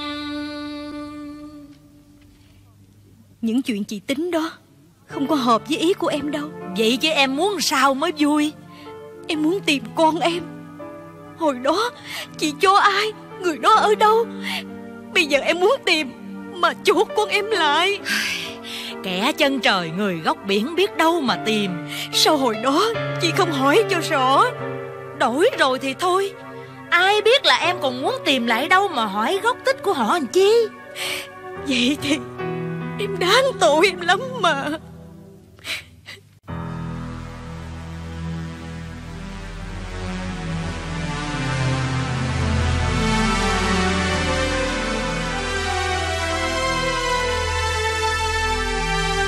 Thì ra chị ba là chị nuôi của con cháu tôi là con Phụng? Bà là bà phán là người thiếm thiếu lương tâm. Còn cậu đây là cậu hùng người tình thiếu chung thủy. Có đúng như vậy không? Sao tự nhiên chị mắng cô cháu tôi xúi xả vậy? Tôi đến đây là để gặp con Phụng. Hai người muốn gặp nó làm gì nữa chứ? Ngày xưa chính các ngươi làm cho nó khổ đau. Cháu bà phá hoại trinh tiết rồi bỏ đi du học nước ngoài. Không kể gì đến cái đời của nó Bớt nóng đi chị ba. Còn bà bà cũng quá vô tâm. Có người ta bụng mang dạ chữa. Mà bà bà đành đoán đuổi ra khỏi nhà. Nay còn giác mặt đến đây chi nữa. Chị ba, Để tôi nói chị nghe. Tại hồi đó tôi không rõ sự tình. Nghe nói có thay Tôi mới nổi trận lui đình. Ngờ nó lấy trai rồi đổ thừa cháu tôi. Bây giờ tôi đã hiểu ra Nên đến đây xin nó bỏ qua giùm. Tôi hối hận nhiều cái chuyện ngày xưa. Cô cháu tôi ăn năn chuyện ngày trước đã đối xử tệ với em Phụng. Cho nên ăn năn? Ăn năn thiệt không? Chị ba Chị cho em hầu chuyện với họ em cũng nên dè chừng hạn người này đó nghe không? Xin thím đừng giận. Tại chị ba bất bình chuyện của cháu Nên có những lời lẽ không đẹp với thím. Không sao Hiểu lầm thôi mà. Miễn cháu không giận thiếm với thằng Hùng mới là được rồi. Anh nhờ cô đến gặp em rồi đó. Em đừng có giận anh nữa. Dạ lại Chúng mình đã có con. Đúng đó cháu Dù sao á, nó cũng là máu mủ của thiếm với thằng Hùng. Nên thiếm muốn cháu đem đứa nhỏ về nhà thiếm mà ở. Cháu ở đây với chị ba từ đó đến giờ. Chị em có nhau. Cháu đâu đành lòng mà bỏ chị được. Cháu khờ quá. Họ là người dân nước là. Làm sao bằng ruột thịt của mình? Cháu dọn hết của cải đem theo về ở với thêm cũng như ngày nào. Nếu cháu không được ăn sang mặt đẹp, Thì chắc kiếm đâu có đến mà tìm. Ơi cháu nhớ làm chi cái chuyện nó cũng xì à. Coi như là phấn viết trên bảng, Xóa sạch là xong. Anh thật lòng muốn nói câu duyên nợ Mới dẫn cô hai đi đến tận nhà. Coi như cô cháu anh đã tự hạ mình Để rước em về chung sống với nhau. Nếu tôi đi mà không đem theo của cải Thì cô cháu anh liệu có giữ lời? Cháu thiệt là khéo nói chơi á Nếu như của cải không phải cháu trọn quyền Thì cũng là hai phần ba mới được. Hoặc ít ra cũng phải nửa phần. Thím tính kỹ quá à. Cháu xin trả lời. Chúng ta không còn cơ hội sum họp đâu. Đó, mày thấy chưa? Tao nói hỏng có được. Mày dắt cô đến làm chi cho cô mệt vậy? Hả Nó không phải như hồi xưa nữa. Chuyện của cháu thì tự mà lo.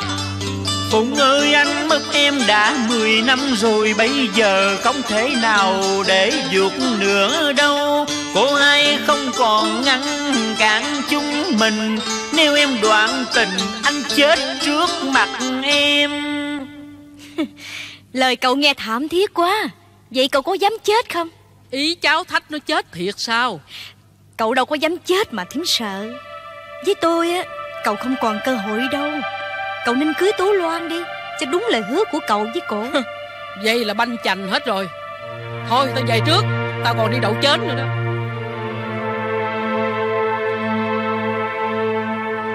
Thím về rồi. Cậu cũng nên theo thím mà về đi. Phụng ơi Anh xin em mà. Em nghĩ đến đứa con mà cho anh cơ hội đi Phụng. Đứa con đã chết rồi. Nói láo. Tôi không nói láo. Em nói láo với anh đó phải không? Em gạt anh đâu phải không? Tôi không nói láo. Tôi không gạt cậu. Cái bào thai quan nghiệt kia. Nó không còn tồn tại. Nó đã nó đã sụp nôi khi vừa mở mắt ra. Đời Đã không còn gì luyến lưu để cho cậu gian này. Thôi thì cậu hãy sửa mình để bước qua con đường trước mặt, Làm lại cuộc đời bên cạnh tu loan Tôi khuyên cậu nên thật lòng yêu mến người ta. Tô Loan là một cô gái ngoan hiền trong sáng. Cậu đã gieo tình buộc chữ nợ duyên, Thì trách nhiệm này cậu đừng chối bỏ.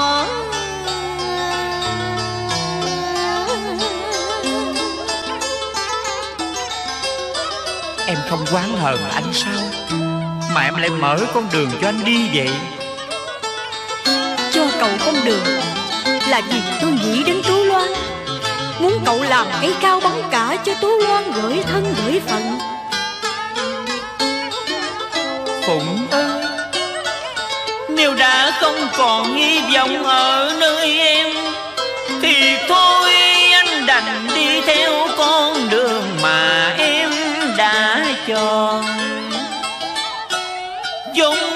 tình xưa để vui duyên mới, Chuộc lại lỗi lầm đã gây khổ cho em. Anh hứa không để cho tố loan ôm hận đôi sự thật tâm một dạ chân tình. Cậu hứa chân tình một dạ với Tú Loan, Thì phải nhớ những lời cậu cậu tiếp tục tạo điều quan trái thì cuối cuộc đời sẽ mang quả vào thân. Cậu đã sai một lần rồi Nên tu tỉnh lại đi. Cảm ơn em. Tôi về.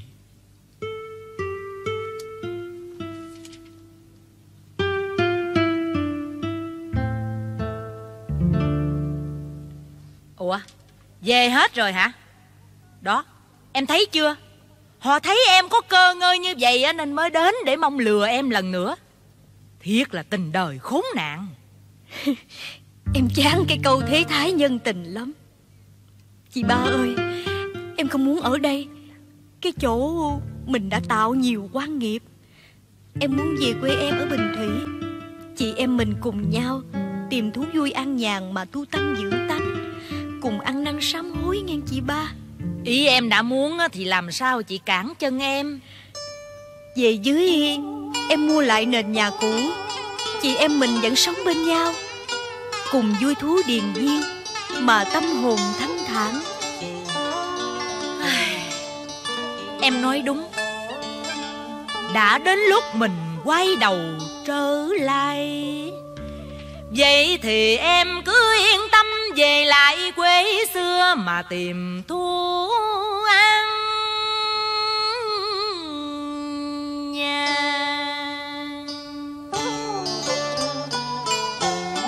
Chứ còn chỉ bao năm qua, tội lỗi ngập tràn. Chị thấy hối hận đã dùng em làm miếng mồi thơm ngọt. Hãy biết bao người đi Chỉ hận đời hận tất cả đàn ông. Nhưng thật sự chỉ có một người làm khổ Nghĩ lại chuyện ngày qua, thấy mình quá đáng. Muốn trả thù riêng mà hại biết bao người.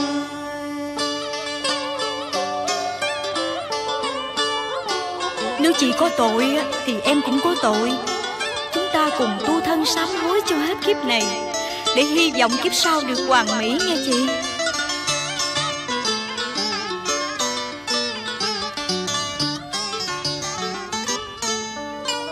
Phụng ơi, em là cô gái tốt, Bởi ngây thơ nên mới gặp cơn sóng vô Chỉ là người lãi đò dớt em lên chiếc thuyền nan Rồi chỉ mặc tình lèo lái chuyên Chỉ lợi dụng em thay chỉ hoàn thành sở nguyện. Thì kẻ có tội là chị Em vô can, Trời Phật không bắt tội em đâu. Hôm nay chị suy nghĩ mấy lời em nói. Đã thăm tía câu quả bao luân hồi. Cảm ơn Cảm ơn em đã thắp đuốc soi đường cho chị. Giờ mình phải chia hai ngã mà đi. Em theo ước vọng của em Chị theo sở nguyện con đường chị đi. Chị ba Như vậy Như vậy là sao? Bộ chị giận em hả chị ba? Không Chị không giận em đâu. Chị thương em lắm. Vậy Vậy sao chị bỏ em? Thì đã đến lúc phải chia tay. Chị sẽ cầu trời khấn Phật phù hộ cho em Tìm được cuộc sống an nhàn, Cho em bớt khổ. Để đền lại cái tội Chị làm cho mẹ con em phải lạc nhau. Rồi biết chừng nào Mình gặp lại nhau hả chị? Còn duyên thì sẽ gặp. Em không nỡ xa chị đâu. Đừng khóc nữa em. Cuộc vui nào cũng phải tàn mà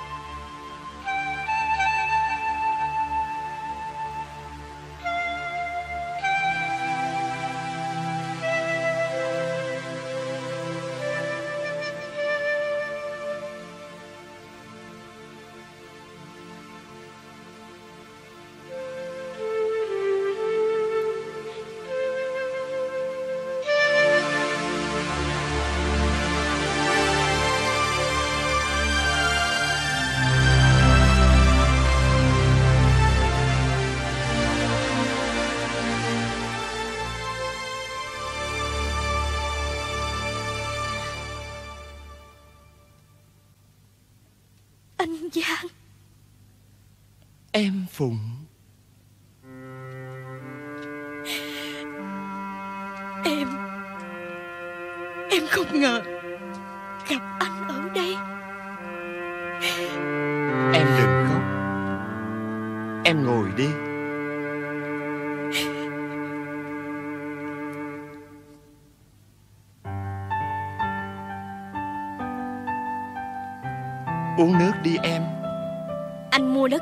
và đất ruộng của Hương Tùng Cam.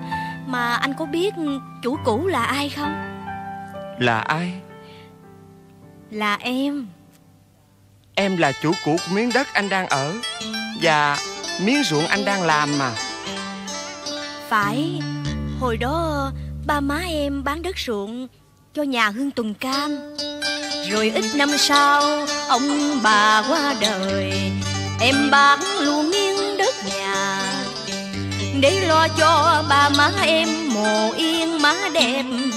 Em bỏ xứ lên Sài Gòn, Phiêu bạc đến nay. Giờ đây em mới quay trở lại, Với số tiền em dành dụm. Để chuộc lại đất nhà và đất ruộng của em. Ông trời gắm ra cùng các cớ thật, Nên khiến cho anh tận tâm mê tận lực Ba năm nay anh đổ công, đổ sức. Cuốc đất cày bừa, làm ruộng chai tay Ngày nay em đã trở về, Anh phải đành rời bỏ nơi đây. Đất cũ người xưa đoàn tụ với nhau rồi, Anh dù không buồn nhưng già thấy luyên lưu. Anh Giang Nếu Nếu như em muốn anh ở lại Để giúp em săn sóc ruộng nương Thì anh nghĩ sao? Như vậy thì ai làm chủ? Nếu như anh Anh không buồn không giận Em đã làm khổ anh. Mười năm thầm lặng hận tình anh mang Thì xin anh hãy ở lại nơi này để cho em chuộc lại lỗi lầm. Đường tơ xưa ngỡ là đức nghi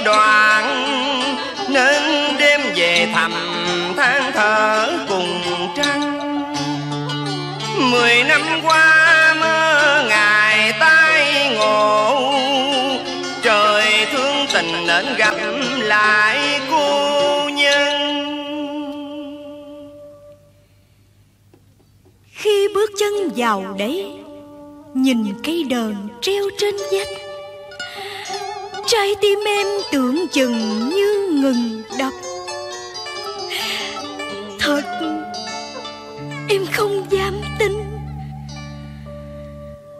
Là mình sẽ gặp lại người xưa đã xa vắng.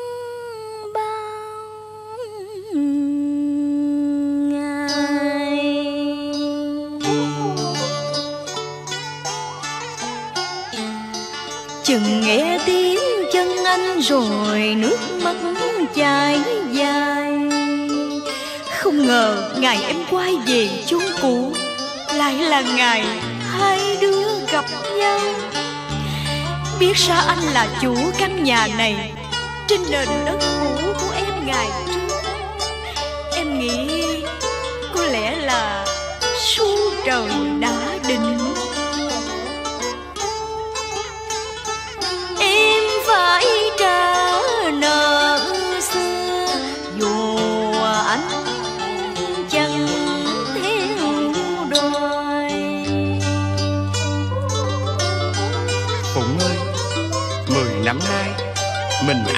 thận Anh thường ngẫm câu, Gió đưa trăng thì trăng đưa gió Trăng lặng rồi gió hết đưa ai? Nhưng bây giờ thì phải đổi lại là, Xa xôi chi đó mà lần Phải hương hương bé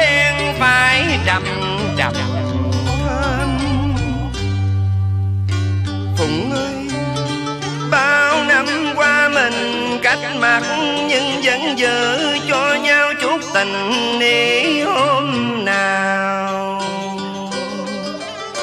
Anh xin nhận nơi em, sợ đồng nghe cảm ngọt ngào.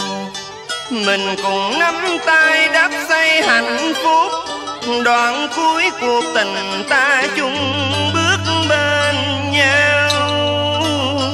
Ngày ngày anh ra diệt lọ việc ruộng nương. Về nhà bên mâm cơm nông có em ngồi tâm sự tối đến dưới trăng anh khái bài quyên ngương hồi vũ. Em cất tiếng ca anh ấm lại tâm hồn. Trên đường về đây, Em cứ thầm nghĩ, Có lẽ cuối đời em sẽ một mình trong cảnh sống điền viên. Mà còn chị ba đâu? Sao không về cùng em? Chị ba nói Chỉ có con đường của chị. Em cũng không ngờ Mười năm chung sống bên nhau Mà nay lại phải tan đàn xẻ nghe Em đừng buồn Chuyện đời tan hợp là lẽ thường Đâu ai đoán được con đường trước mặt.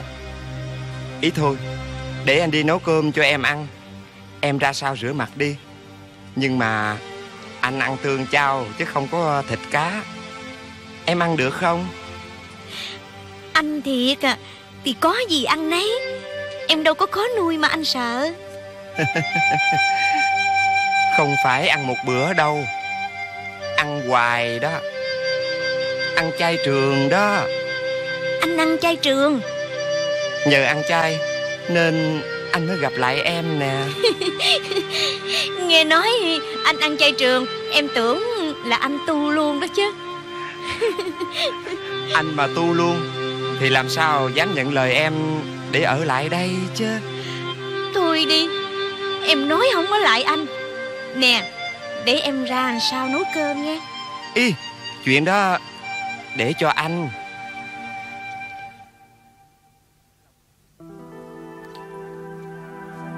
Long à Anh biết anh làm như vậy là không đúng không phải với em.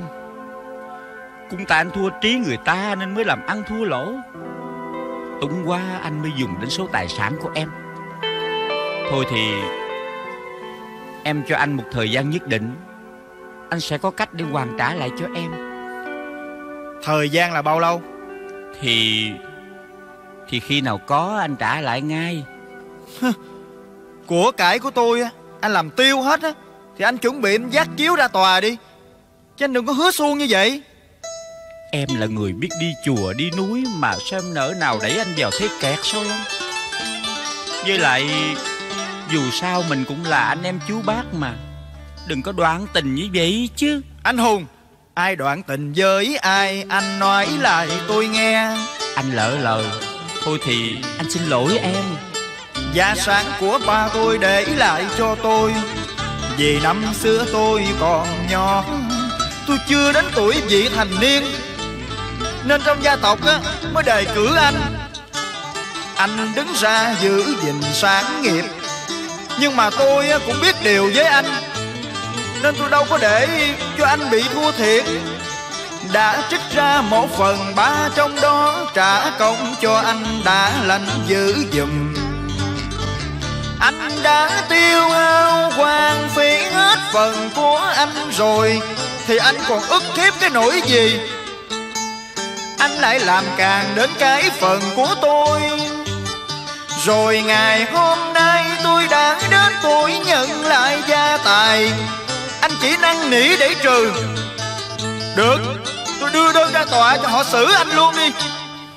Anh xin em đừng có kiện thưa, Nếu như anh phải dắt chiếu ra tòa, Thì danh dự của anh còn đâu nữa. Em hãy giữ dùm tay tiếng cho anh, Để anh còn cơ hội mà làm ăn. Sẽ có một ngày anh hoàn trả lại cho em. Anh gạt hết lần này á, Rồi tới lần kia. Tôi kỳ hạn cho anh một tháng nữa là cùng. Đó là tôi còn nể tình ruột thịt với nhau. Long à Một tháng làm sao anh lo cho kịp chứ? Chuyện đó là chuyện của anh. Anh làm sao thì làm?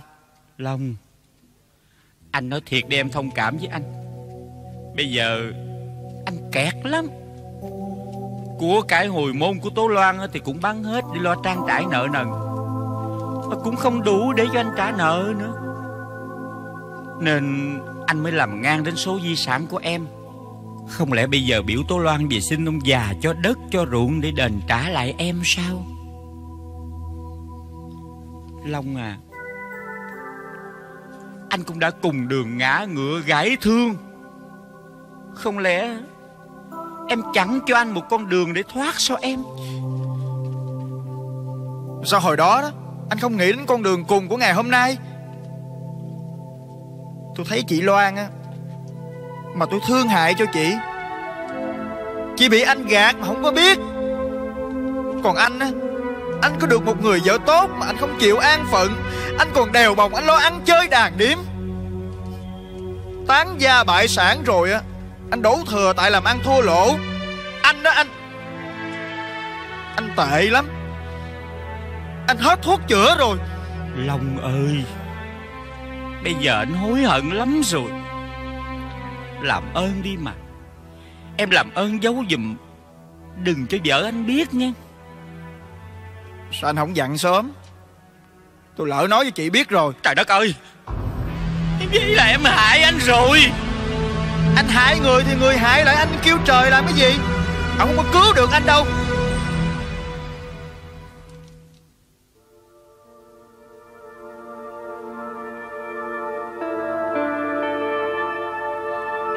Thiệt Cháu không ngờ Chồng cháu lại ăn chơi trác tán Để cho mang nợ, mang nần đến vậy Cháu buồn quá thím à.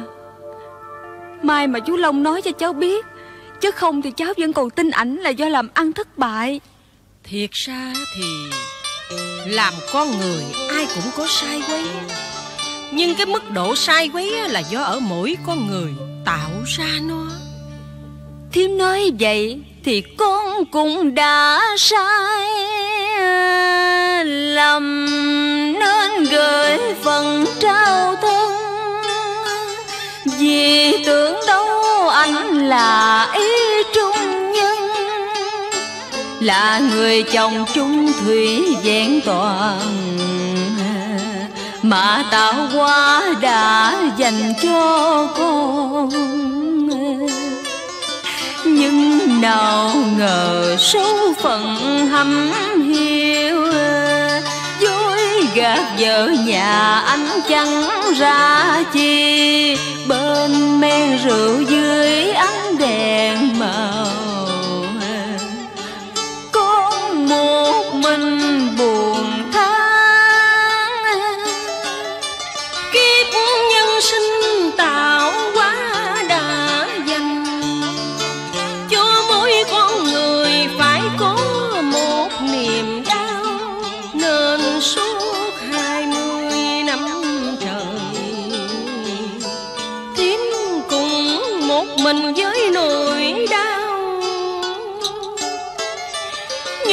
tâm sự của con thì còn bài tỏ được.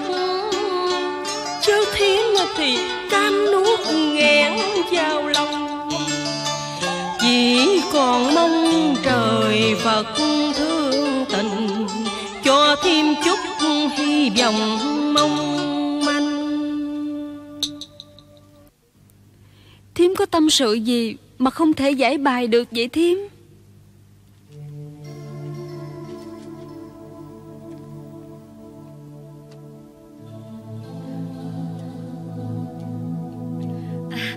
Hai cô.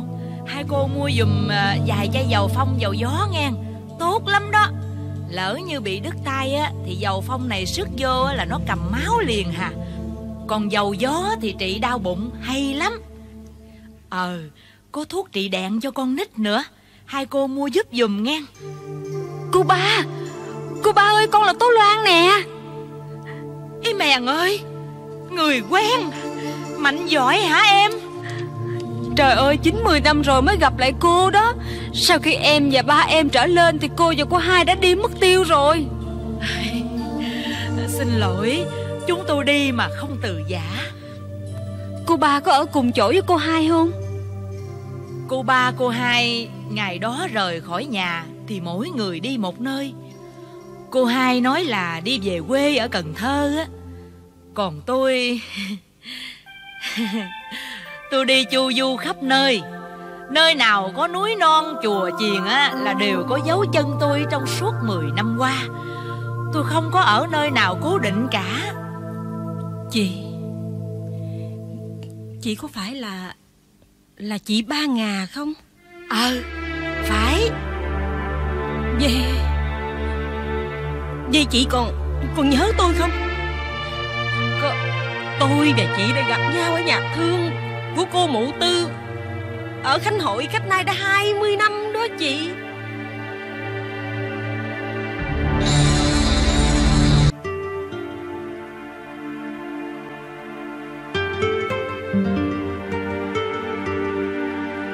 Cô cô Cô cô gần xanh chưa? Thấy có vẻ mệt mỏi quá vậy. Cô mụ tư nói chắc khuya nay tôi xanh á Còn em tôi á, nó nằm ở giải bên kia phòng hạng chót á. Cô mụ tư nói Nó sanh lối 9-10 giờ tối nay á. Vậy là nó sanh trước cô à. Cô nằm ở đây á, là phòng hạng nhất á. À, Vậy chắc nhà cô cũng khá giả lắm ha. Nhưng sao thấy cô có vẻ lo lắng không vui vậy?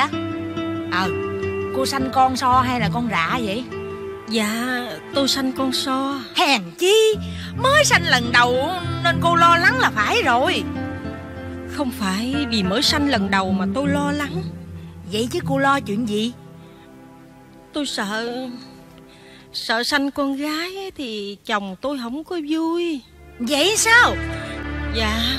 Hay cha à, Nè nè nè. Cô mụ tư ở đây giỏi lắm. Cô coi cô biết là sanh gái hay trai rồi hà Cô coi cho ai á cũng đúng hết á. Không hề sai chạy đâu hết á. Cô nói con em tôi á, nó sanh con trai. Vậy vậy cô nhờ cô Tư coi đi cho biết. Cổ coi rồi. Cô nói tôi sanh con gái. Vì vậy tôi mới lo sợ. Ơi sợ cái gì? Ông bà ta nói sanh con gái đầu lòng rất dễ làm ăn. Chị không hiểu biết đâu. Chuyện nhà của tôi Nó rối lắm. Nè nè nè nè. Cô gần sanh rồi Đừng có buồn không có nên đâu. Không ấy cô tâm sự với tôi đi Cô nó đỡ buồn. Chứ để trong lòng có hại lắm á.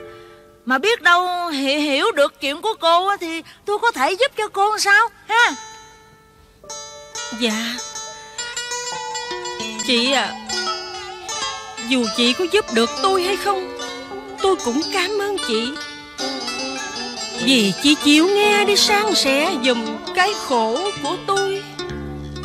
Không giấu gì chị, Tôi là vợ của thầy cái tông ở mi. Thôi, Nhưng là vợ nhỏ mà ôi. Gia đình tôi nghèo khổ, Nên phải ép mình làm lẽ người ta. Chị lớn đã sanh được ba con. Nhưng đều là gái nên thầy cái buồn bực.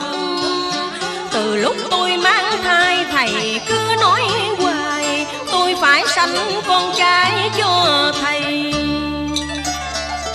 Để giúp thầy nuôi việc lửa hương, Rồi thầy về cho nhà lớn ở chung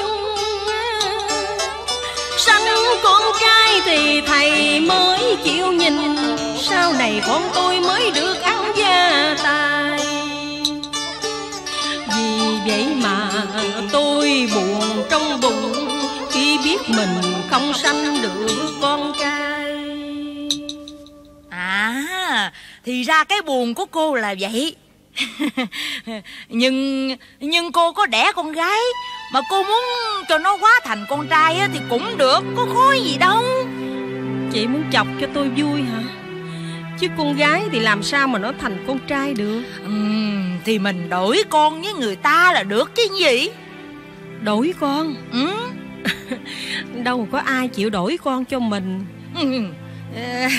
Thì lựa người nào nghèo á thì mình đổi. Mình bù nhiều tiền là họ chịu Họ đổi chứ gì đâu cô lo Đổi con. Chị ơi Nếu tôi sanh con gái Mà có ai họ chịu đổi con trai cho tôi á, Thì dù có bù hai ba trăm tôi cũng chịu nữa. Bù hai ba trăm? Dạ. Ê, Vậy thì ít quá nha. Vậy chứ cỡ bao nhiêu lận chị? Nè Nói cô nghe nè. Cô phải biết á là sanh được con trai á, nó quý lắm Nó Nó, nó đáng giá Ngàn hai lận đó. Một ngàn hai lận ừ. Trời đất ơi Họ đòi nhiều quá. Thì làm sao tôi có tiền đưa? Làm vợ thầy cai Nói không tiền ai tin? Cô nói như vậy làm sao tôi giúp cô được? Xin chị giúp tôi lần này Ơn chị tôi nhớ hoài. Ờ giúp á thì tôi giúp chứ có ngại gì đâu. Nhưng cô bù ít quá đi à. Sợ người ta Họ không thèm đổi con Chứ bớt một chút á thì được nha. Cỡ bao nhiêu mới được? Cô đưa cỡ một ngàn Họ, họ đổi con liền. Một ngàn. À, Vậy chịu không? À, Vậy cũng được. Tôi bù một ngàn. Chịu rồi hả?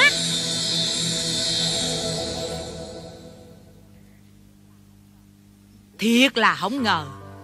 Ông trời ông khéo sắp đặt. Khoảng 10 năm nay á Tôi tôi cũng muốn tìm cô á. Tôi cũng vậy. Tôi lại trời lại Phật ngày đêm mong cho có cơ hội để gặp lại chị đó chị ba Mười năm nay vô chùa lên núi tôi ở để làm công quả. Nhưng ba năm nay á, tôi ở tại núi này. Có bán thêm ba cái dầu gió dầu phong để kiếm chút ít tiền làm lộ phí đi đường Để xuống Cần Thơ thăm em tôi. Cô ba định đi thăm cô hai hả? À vậy thôi thì sẵn tôi có xe nhà kìa. Chị đi luôn về tới Mỹ Tho Chị ghé lại chơi cho tôi hỏi thăm chút chuyện. Rồi chị hãy đi xuống Cần Thơ Cô ba à Cô nhận lời đi cho thím em vui mà. Cái gì? Em với cô cai đây là là sao mà gọi bằng thím? Dạ thím đây là thím chồng của em. Vậy ha? Em có chồng rồi hả? Dạ. À, Lấy ai? Ở đâu vậy? Dạ cậu hai Hùng đó cô. Thiệt sao? Vậy rồi có hạnh phúc không? Em lận đận lắm cô à Mấy năm nay ảnh mắc nợ trả hoài không có hết. Ảnh mới làm ngang mà lấy gia tài của người em chú bác của ảnh Mà làm tiêu hết trơn. Bây giờ chú ấy lại đòi làm đơn kiện ảnh ra tòa đó cô. Tôi có khuyên thằng con tôi hoài. Nó thì cũng có nghe lời tôi Nhưng bây giờ thì nó làm gắt dữ lắm. Cô nói chồng em loan mắc nợ của con trai cô hả? Ờ. À, Cái cái đứa nhỏ năm đó ở ở Ờ à, Nó đó Thôi rồi. Quan gia tương báo, Nghiệp chướng tiền khiên Phen này tôi không theo cô về dưới cũng không được. Tội lỗi Tội lỗi quá. Nam mô A Di Đà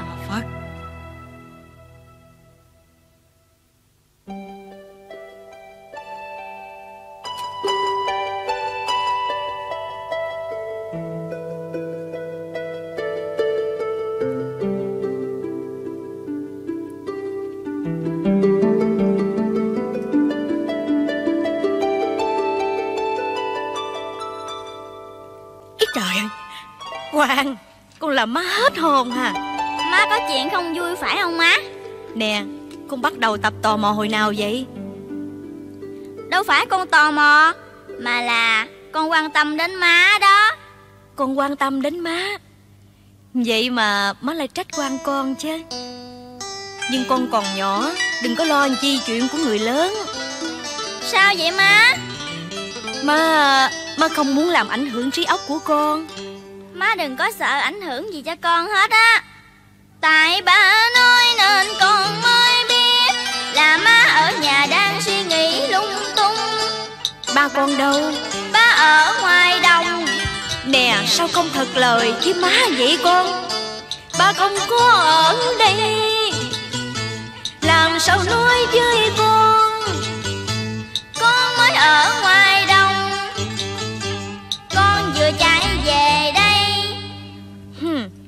Nè. Nếu ba con ở ngoài đồng á Thì lại càng không biết là má đang ngồi suy nghĩ. Hoàng à Con nít mà nói láo là hư lắm á. Má không muốn con gái của má làm người xấu nha. Biết không? Con nhất định không làm người xấu đâu. Hôm qua con nghe ba nói á, là những lúc ba ra đồng Còn con đi học thì má ưa ra thèm ngồi suy nghĩ. Nên bữa nay chủ nhật không đi học Con theo ba ra đồng một chút rồi con Nè Về nhà để lén nhìn má phải không? Lại lòi thêm cái tính xấu nữa ha. Thôi thôi Đủ rồi. Đừng bắt nạt con gái của anh chứ. Ý Nhà thám tử tí hon mới phải chứ. Ba Ba về tới đỡ quá chừng luôn. Nãy giờ má tấn công con tới tấp luôn đó Con đỡ muốn hụt hơi vậy đó. Thiệt con lãnh trách nhiệm này nguy hiểm quá ba ơi. Đừng lo Có ba. Hai cha con đứng về một phía để ăn hiếp người cô thế phải không? Phải không? Thiệt là quan ức cho con với ba quá. Không sao. Nếu cha con mình đáp án được cái đề tài này Thì quan hay ức gì cũng không thành vấn đề mà con. Mà cái vấn đề này ở đây là Má con sẽ không bao giờ chạy chối được với ba. Hoàng à Đem cây cuốc vô nhà cất Rồi coi bắt nồi cơm lên đi Ba con ở ngoài ruộng về chắc là đói bụng rồi đó con.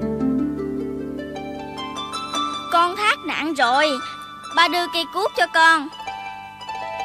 Ba chuẩn bị tư thế nghe Đồng minh này thiệt không ổn.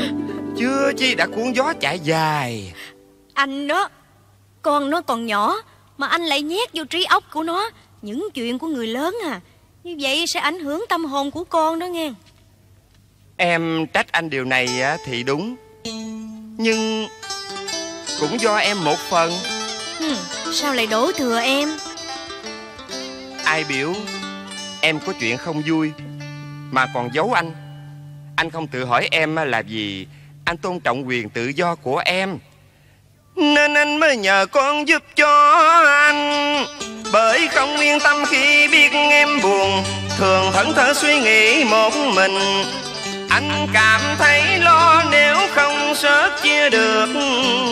Cũng tại vì em sợ bận lòng anh Nên nỗi buồn riêng em không thốn lộ. Là vợ chồng thì chung lòng chung dạ Sao lại cho là cái buồn của riêng em? Em giấu anh nhưng có thể anh đoán được Là em nhớ chị ba Và đứa con thất lạc Cho nên em biết là có sự thần giao cách cảm. Khi giữa vợ và chồng hợp mỹ đồng tâm Nên em không thể giấu anh được điều gì. Anh là người chồng đế em kính trọng thương yêu. Nhìn bé Hoàng lớn khôn đầy đủ thâm tình Khiến em chạnh lòng vì bỏ rơi con. Mười năm rồi Không biết chị ba hiện ở nơi đâu Sao chị ấy không về đây tìm em chứ? Em nhớ chị ba, Nên em lo cho chị lắm. Cái hồi chia tay nhau, Chị không đem theo thứ gì hết á. Chị nói, của cải là do em tạo, Nên tất cả là của em. Em năn nỉ hết sức Mà chị cũng không nhận.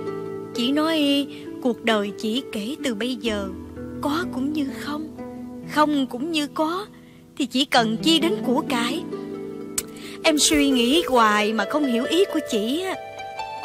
Ý chỉ là của cải là vật ngoài thân Nằm trong cái ý của nhà Phật Là sắc tức thị không Không tức thị sắc. Như vậy Chị đã giác ngộ được chân lý đó. Chị không sao đâu. Em đừng lo. Anh à Hay là mình đăng báo để tìm chị ba nghe anh? Cũng được Không cần đăng báo Tôi đến nè. Chị ba Em tưởng đâu là chị bỏ em rồi chứ. Kìa Sao khóc vậy? Hồi đó chia tay cũng khóc cả ngày. Bây giờ sum họp Định khóc bao lâu nữa đây em? Em nhớ chị lắm đó chị ba. Đi đâu mà đi biệt vậy? Phải thiệt nhớ chị hôn á. Chứ thường thì Khi người ta có cái niềm vui ấm áp của gia đình á Thì người ta ít có nhớ đến kẻ ngoài cuộc lắm. Chị trách em Phụng lấy chồng Quên chị chứ gì? Nói chơi thôi Chứ biết em Phụng có gia đình đầm ấm bên thầy á, Thì tôi vui lắm. Chị ăn mặc như vậy Tôi chắc chị đã thông suốt chân lý rồi đó. Phải. Tôi đi làm công quả và tu thân để sám hối. Nên thấy hai người sum họp Tôi thấy tội của tôi nó nhẹ được phân nửa Chuyện qua rồi Chị đừng nhắc lại. Hồi đó Cũng do hoàn cảnh mà thôi. Đành là vậy Nhưng tôi tôi vẫn còn nặng tội lắm. Hết rồi Chị không còn tội gì nữa Đừng có đeo mang nữa. Không đeo sao được Cái tội này nó nặng lắm. Quan gia năng giải đó em à.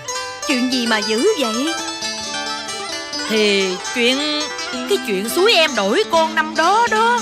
Chị ba Chị dẫn em đi tìm con em nha chị ba. Khỏi tìm nữa Chị gặp nó rồi. Hả? Chị gặp nó rồi? Nó ở đâu? Thì ở với mẹ nuôi nó tại Mỹ Tho. Chị vừa gặp được mấy ngày nay. Thiệt là trời bất dung gian nha. Cái quả ngày xưa chị gieo giờ thành cái quả Em ơi Chị lo sợ vô cùng. Nếu để lâu Sẽ càng thêm tội. Chị nói rõ ràng đi, Em đang sốt ruột. Con em bây giờ Nó sống ra sao? Thì nó là con của bà cai tổng. Nhà cửa ruộng vườn Thẳng cánh cò bay. Vậy là trời Phật còn nghĩ đến em. Nên con em không lang thang đói lạnh. Bởi nó không đói nghèo còn sung sướng tấm thân Nên bây giờ nó đòi kiển người ta. Mà người đó tưởng ai xa lạ chi? Đó chính là cha ruột của con em. Tại sao lại có chuyện như vậy? Con mà hại cha là chuyện chẳng lành. Quả báo nhãn tiền ai tránh được đâu Ai biểu họ dai bây giờ họ chịu? Nhưng mà câu chuyện đó ra sao? Lại đến nỗi phải có chuyện suối lòng. Quan hệ của họ là anh em chú bác ruột, Nên cậu Hùng đứng ra lăn giữ gia tài. Chờ nó lớn lên, cậu sẽ giao quyền. Không ngờ cậu làm tiêu ráo trọi trơn. Bởi vậy nên nó giận nó đòi gửi đơn lên tòa ở Mỹ Tho nó kiện cậu đó chứ. Chắc chắn phen này thằng con nó hại thằng cha đến thân bại danh liệt luôn á. Thiệt chẳng biết lo tu thân Còn tạo thêm quan nghiệp. Thì phải cam tâm mà chịu cái án tù chứ biết sao giờ. Không nên đâu em. Phải Phải tìm cách mà hóa giải chứ. Ờ Phải hóa giải chứ em. Nhưng mà trước tiên lo Lo hóa giải giùm cái bao tử của chị đi. Má ơi Con nấu cơm chín rồi. Ừ. Dạ con chào dì ba. Ồ à Con ai mà gọi dì ba nghe ngọt sớt vậy? Con gái em đó. Mày ăn ơi Giỏi quá ha. Con tên gì mấy tuổi rồi con? Dạ con 10 tuổi. Trời. Con tên Hoàng. 10 tuổi mà cao chồng nhồng dưới vậy ha à, Con dắt dì ba ra làm sao rửa mặt Rồi dì cháu mình tâm sự ha ha. Dạ Dì ba đi theo con. Ừ à.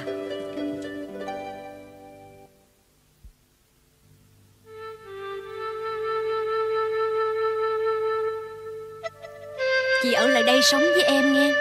Tu thì ở đâu mà tu không được Cận gì phải lên núi lên non.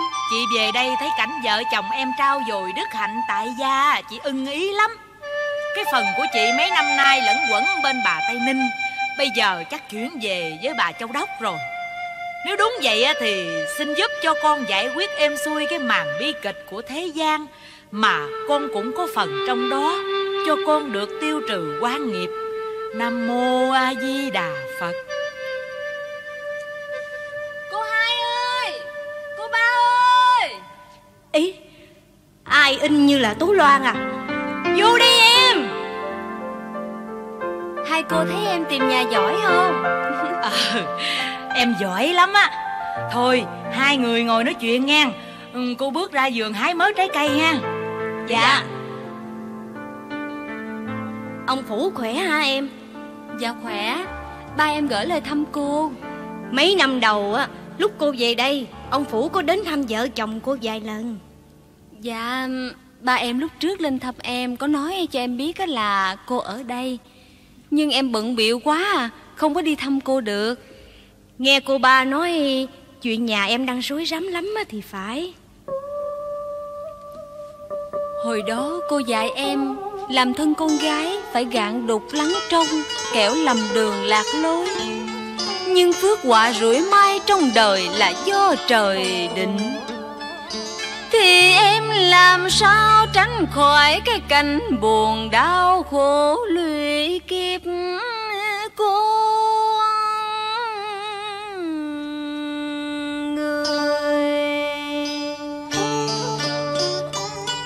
Nên mấy năm nay em đã sống trong cảnh dở khóc dở cười. Cứ tưởng lấy chồng lớn hơn em nhiều tuổi sẽ được họ thương mình một gia thủy chung.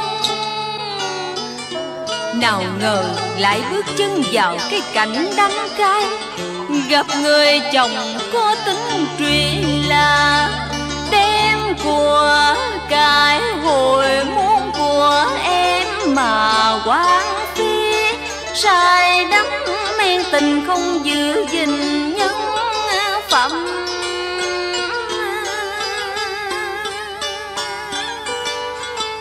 Mấy năm nay, cô cũng thầm giái gian trời Phật Cho em sống hạnh phúc bên chồng.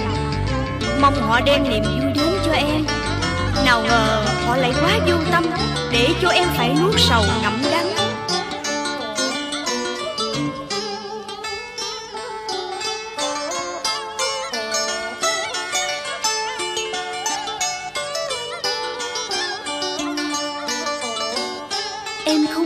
Chồng tệ bạc đi tìm của lạ Vì đàn ông hoa thường lãng mạn đa tình.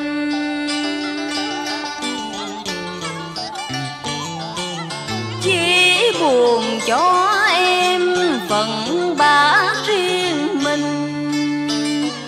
Nếu có trách là trách chồng không giữ gìn nhân cách nên sắp phải ngồi tù vì tôi đoạt sáng nghiệp của người ta. Cuộc đời của em sẽ phiền não triền miên. Nếu như anh bị lãnh án tù vào lao ly, Con người thiếu đạo đức cuộc đời kể bỏ Anh phải đền cái tội đã gây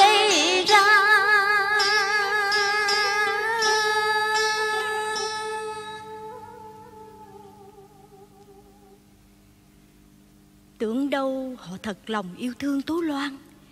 Ai ngờ dẫn chứng nào tật nấy.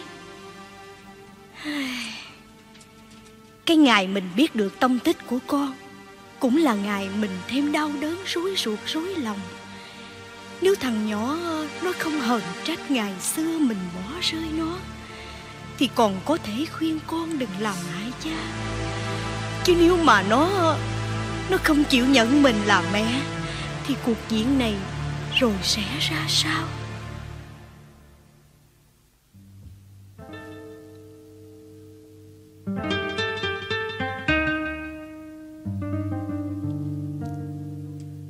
Chào cậu.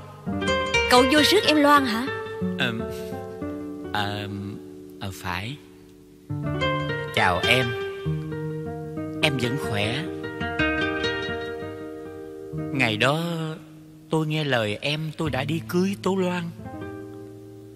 Tôi đã làm đúng lời em rồi đó. Cậu làm đúng lời Nhưng chưa đúng ý. Vì cậu chưa thiệt tâm làm một người chồng đúng nghĩa Như sự mong muốn của tôi. Sao cái chân tình của cậu Lại không đặt ở chỗ Tố Loan vậy cậu? Phụng Cái chân tình đó 10 năm nay tôi vẫn giữ cho em. Cậu lại tìm lời biện hộ cho cái lỗi của mình Cậu tưởng tôi tin cậu sao? Chứng nào tật nấy. Đã hại cậu sắp chết đến nơi rồi. Cậu gieo toàn là nghiệp nặng. Nên cái nghiệp nó theo đòi nợ cậu đó cậu hai à. Em nói gì tôi chưa hiểu. Nghiệp gì theo đòi nợ tôi? Giọt máu của cậu ngày xưa Là người sắp đưa đơn kiện cậu Về tội sang đoạt tài sản của nó đó. Liệu mà trả lời với pháp luật đi Nói Thằng thằng Long là con của tôi.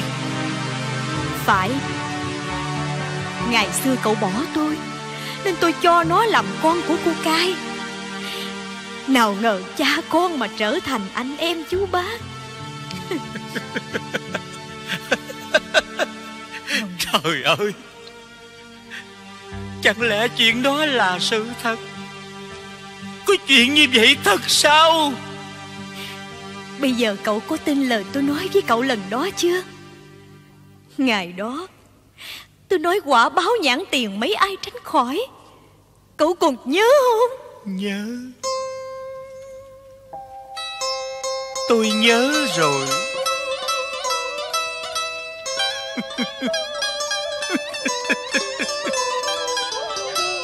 Em nói phải lắm Nợ tôi vay bây giờ, Tôi phải trả. Ngày xưa tôi phụ em để rơi rớt tâm tình cốt nhục. Nên ngày hôm nay, Ngày hôm nay ông trời mới trừng phạt tôi. Khiến cho tôi làm tiêu tan của cải mà chú tôi để lại. Làm cho con quan hận cha mà đưa tôi vào chôn lao tù. Ông trời thật là trơ trêu Và tôi có mắt cũng như mù.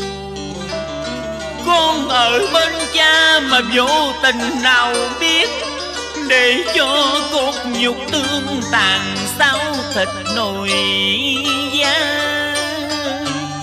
Cũng tại tôi khinh trời Phật ở nơi xa, Coi thường lưới trời rộng Nên bây giờ mới vướng phải. Cảm ơn em đã nói ra sự thật. Cho tôi thấm tía cái đau Bị con ruột trả thù. Cậu trách tôi phải không cậu? Nó hại cậu là do nơi cậu. Nếu cậu không tự chuyên lấy của người mà phung phí, Thì cậu đâu có gặp cái cảnh này. Ý tôi không phải là trách em đâu.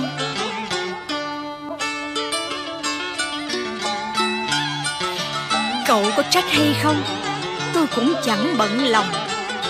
Mà cái tôi lo hiện giờ Là sợ con tôi không rõ nguồn rõ cội. Rồi nó gây ra tội lỗi vào Người lớn đã gây ra, Sao để cho con giữ lấy tôn tình? Lỗi của cậu đã lợi dụng lòng tin cướp đi tài sản của nó. Còn lỗi của tôi là nỗi quân ly tiền Làm cách mưu sinh. Tôi thì cậu chờ mà trả lời trước pháp luật, Còn tôi thì suốt đời này sẽ sống trong nỗi khổ triền Tôi nghiệp con tôi bướng bờ lạc lòng. Nên vô tâm mà phạm tội dưới đất trời. Anh Hùng, Không ngờ ngày xưa anh cũng đối với cô hai bạc bẽo. Bây giờ em cũng gánh phần cùng số phận đơn đau. Cô hai ơi, ngày đó em không hay biết Nên mới dám bừa lên dấu hoàng khiên Ngày đó, Cô không muốn phá tan niềm hy vọng của em. Vì vậy, cô mới khuyên cậu hai phải hết lòng chân thật với em. Cô đâu có ngờ, Cô đã hại em. Em không có ý trách cô sao không chỉ đường cho em tránh. Mà em muốn nói là, Tại em không biết Nên em mới vô tình làm kẻ thứ ba. Thì em mới là kẻ làm khổ cho cô. Lòng cô đã nguội lạnh. Dù em không làm vợ cậu hai Thì cô cũng không thể chung đường với cậu. Cậu hai đến rước em về đó. Em cho cô gửi lời thăm ông Phủ nha Dạ Cảm ơn cô. Chào cậu. Loan Anh xin lỗi. Những ngày sau này Anh phải để cho em bơ vơ. Vì anh trước sau cũng phải vào tù thôi em à Anh Hùng Em đã lỡ làm vợ anh Nên dù anh có ở không phải với em đi nữa Em cũng cam chịu. Vậy căn nhà trên Sài Gòn Em giao cho anh Và anh tự lo liệu việc của anh. Em nói vậy là sao? Em muốn được yên tình Em sẽ về sống với ba em. Để lo cho ba trong lúc tuổi già, Cái bổn phận mà bao năm em đã lơ là. Đi tìm hạnh phúc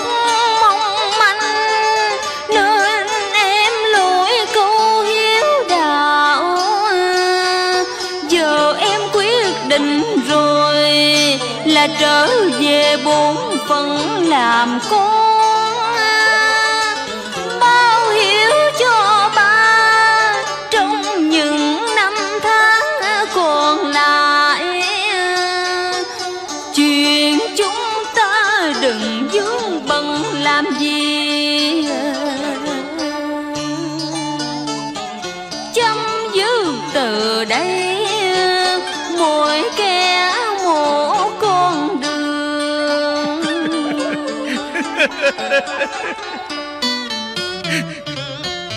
Trời hại anh rồi, Nên ngày tàn. Phải lạc lòng chơi vơi. Loan ơi, sao nợ bỏ anh Bỏ chữ tàu khang Em là điểm tựa anh cần cuối cuộc đời còn lại của anh. Em không đủ sức cho anh làm điểm tựa Vì em cũng đang cần một điểm tựa cho mình. Đó là ba em. Loan Loan ơi Đừng bỏ anh Đừng bỏ anh mà Loan Loan Loan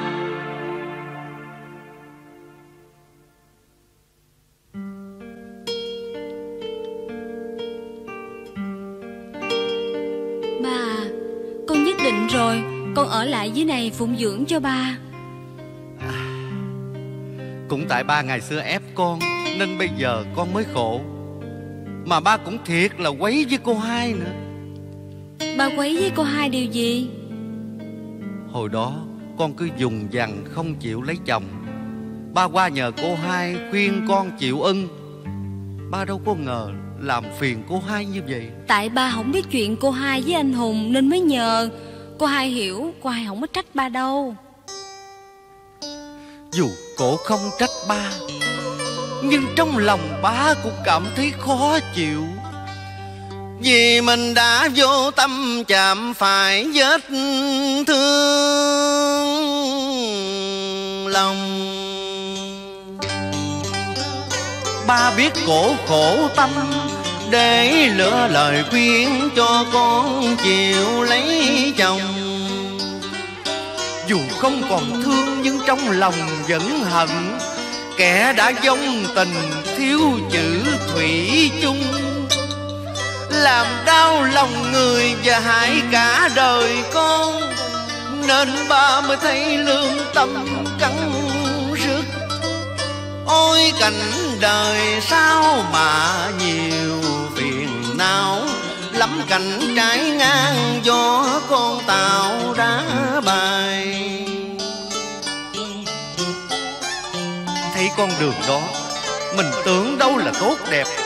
Ai ngờ họ trải thảm lên gai nhọn cho mình đi. Bởi vậy nên cái câu dò sông dò biển dễ dò. Mấy ai lấy thước mà đo lòng người thiệt đâu có sai. Ba ơi, tại cái số của con nợ duyên lần đần, Chứ đâu phải tại ba đứa con vào cái khổ hôm nay. Con xin ba đừng tự trách bản thân, Mà hối hận dài dò tâm trí. Ba ơi, Người ta miệng lưỡi ngọt ngào, Bởi mình thật giả lọt vào lưới.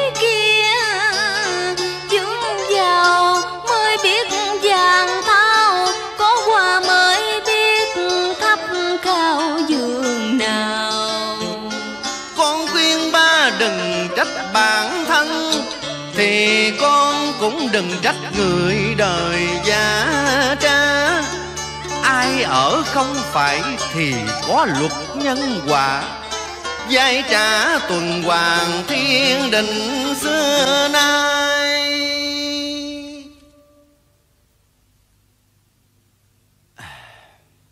Con à Để vài ngày nữa, Ba coi trong mình ba khỏe. Ba vô Bình Thủy thăm thầy Giang Rồi xin lỗi cô hai cái chuyện hồi đó. Có như vậy Ba mới thấy nhẹ nhàng trong lòng ba đó con à. Con nói cô hai không có phiền mình đâu Ba đừng có lo cho khổ tâm nhọc trí mà. Lỡ như ba bệnh nhiều á Thì vợ chồng cô hai cũng đâu có vui. Trời mấy ngày nay trở gió Nên ba hơi ê mình chút thôi Chứ có bệnh hoạn gì đâu mà con lo. Ba lớn tuổi rồi Đâu phải như hồi xưa nữa. Nếu có chuyện buồn phiền Con sợ ba lướt không nổi đâu ba. À thì thôi. Ba nghe lời con Không nghĩ ngợi gì nữa hết á. Con yên tâm chưa? Ừ? Dạ Con cảm ơn ba. À, Con về đây với ba rồi Nhà cửa ở trển con tính làm sao? Con xin lỗi ba Vì chưa hỏi ý của ba Mà con đã tự quyết định Để căn nhà đó cho ảnh. Con khờ quá Của cải là vật ngoài thân. Con tính vậy là việc cũng tốt. Có gì mà phải xin lỗi ba? Như vậy đi Để thẳng tự lo thân. Cô Phán mấy năm nay cũng suy sụp lắm. Lớp thì mua bán thua lỗ Với bài bạc nữa Nên nợ nần tứ tung mà Nghe đâu là cầm cố nhà cửa hết rồi đó ba. Uhm, Thôi thì coi như mình làm phước Để cô cháu ảnh có nhà mà ở. Con đối nhân xử thế như vậy Ba cảm thấy vui lắm. Nghĩ lại thì cũng tại cô cháu của chị Phán Ăn ở tệ bạc với cô Hai Phụng Cho nên cái hậu cái giận mới ra như vậy. Còn phần cô Phụng Không biết cái thằng con của cổ Có chịu nhìn cổ không? Ba sợ thằng nhỏ nó nó, nó hận mẹ Bỏ rơi rồi rồi rồi Làm cho cổ tuổi lòng đó con.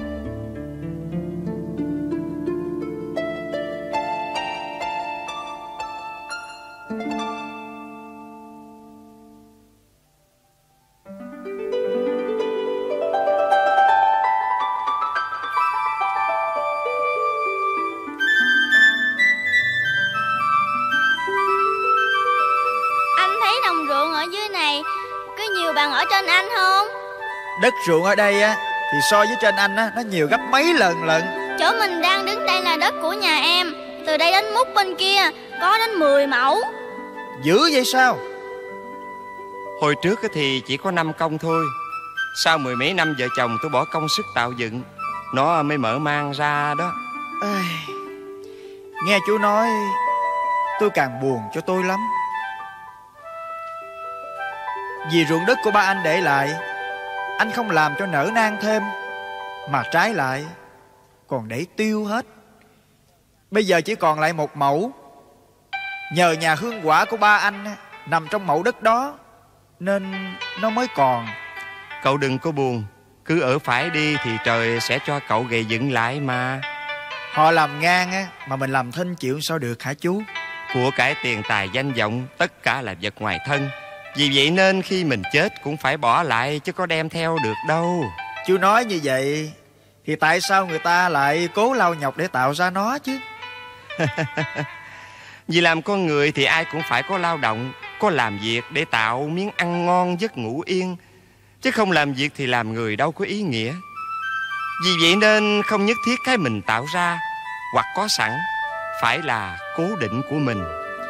Lời chú nói tôi hiểu Nhưng mà khó làm quá.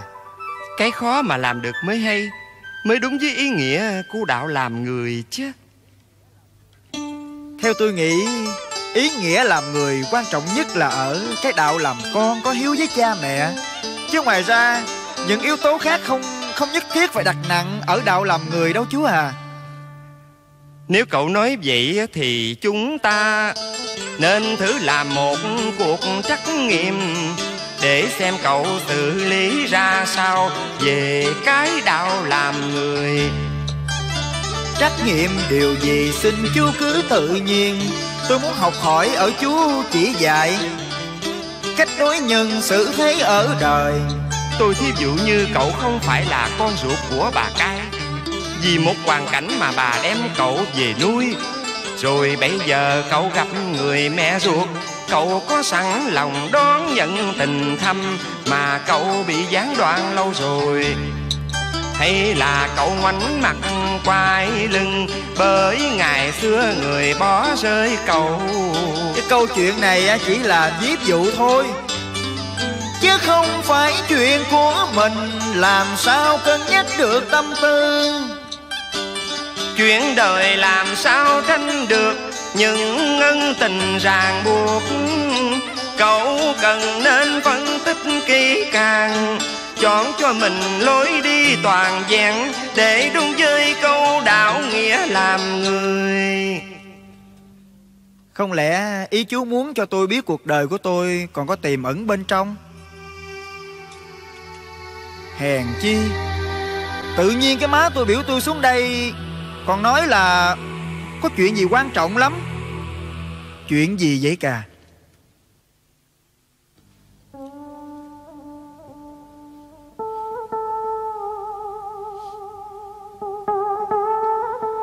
Tôi hứa với chị ba là sẽ nói cho nó biết chuyện này. Để mẹ con cô được nhìn nhau Em cảm ơn bà.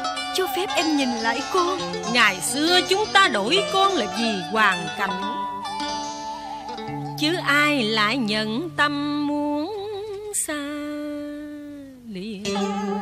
Bỏ đi nấm ruột, Con vật cùng không đành. Cho nên hai mươi năm trường, Tôi hằng thương nhớ con tôi. Ôi đứa con gái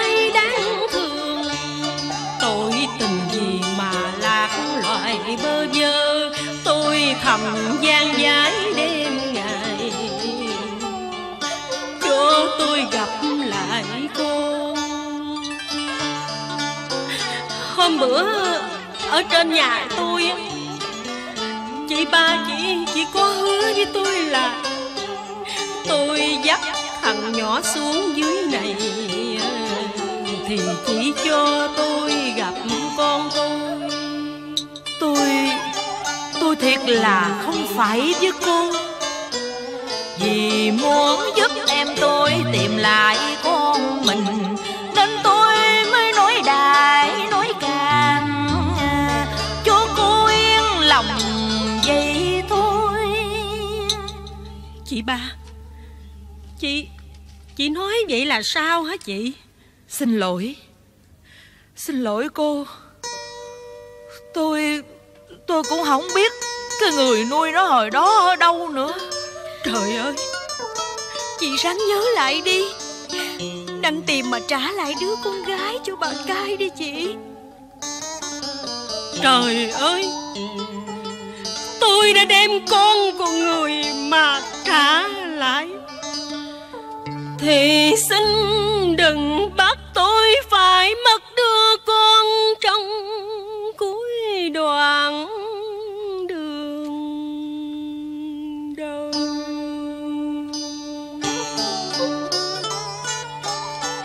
Nước mắt câu đêm, giờ đã cạn mặt rồi. Nếu còn bắt tôi phải chịu thế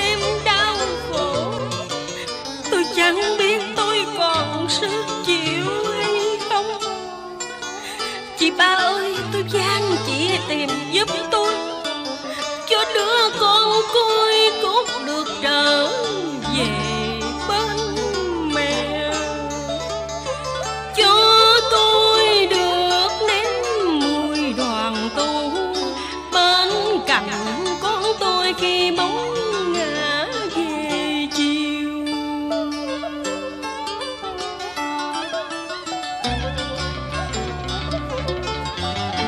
Năm trước. Tôi có đi tìm, Nhưng tìm hoài cũng không gặp. Hỏi thăm cũng không ai biết Là họ đã đi đâu. Tôi có tội với cô thiệt rồi cô à Như vậy là tôi đã tuyệt vọng rồi sao? Tôi xin lỗi bà, Vì không giữ lại đứa con gái cho bà nữa. Ngày xưa cô xa con làm gì canh ngô nên trời Phật xót thương mới cho cuộc sống về. Còn tôi, thì tự tôi đã xé lẻ chia bầy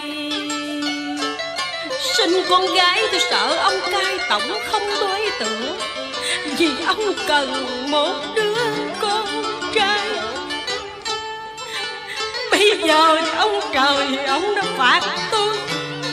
Vì tham của mà dứt tình mẫu tử. Nếu như thằng Long được nhìn mẹ ruột, Tôi sẽ âm thầm yêu quặn quảng đời sau.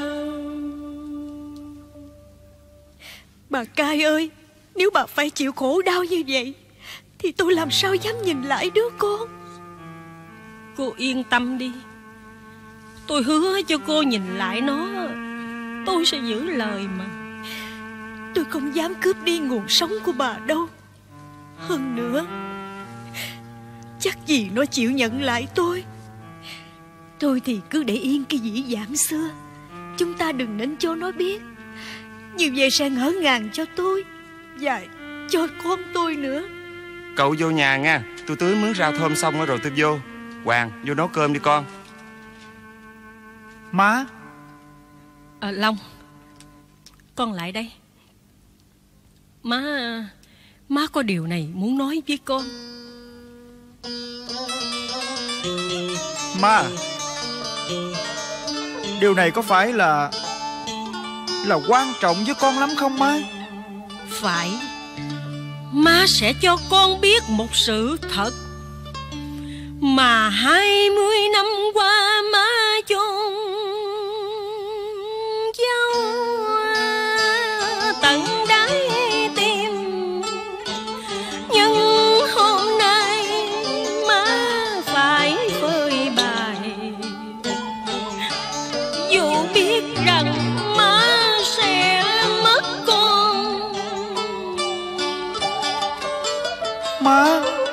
Sao má nói vậy hả má?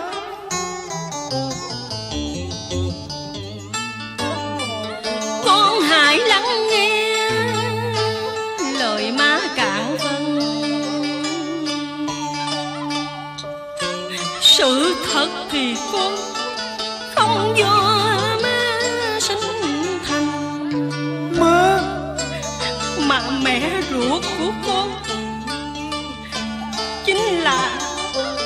cô phụng đây. Long ơi Dạ. con hãy tin má nói thật lòng. Ôi sự thật bé bàng làm rối lòng con.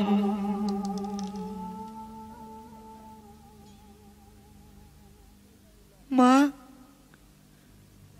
Người này là Là mẹ ruột của con thật sao hả má?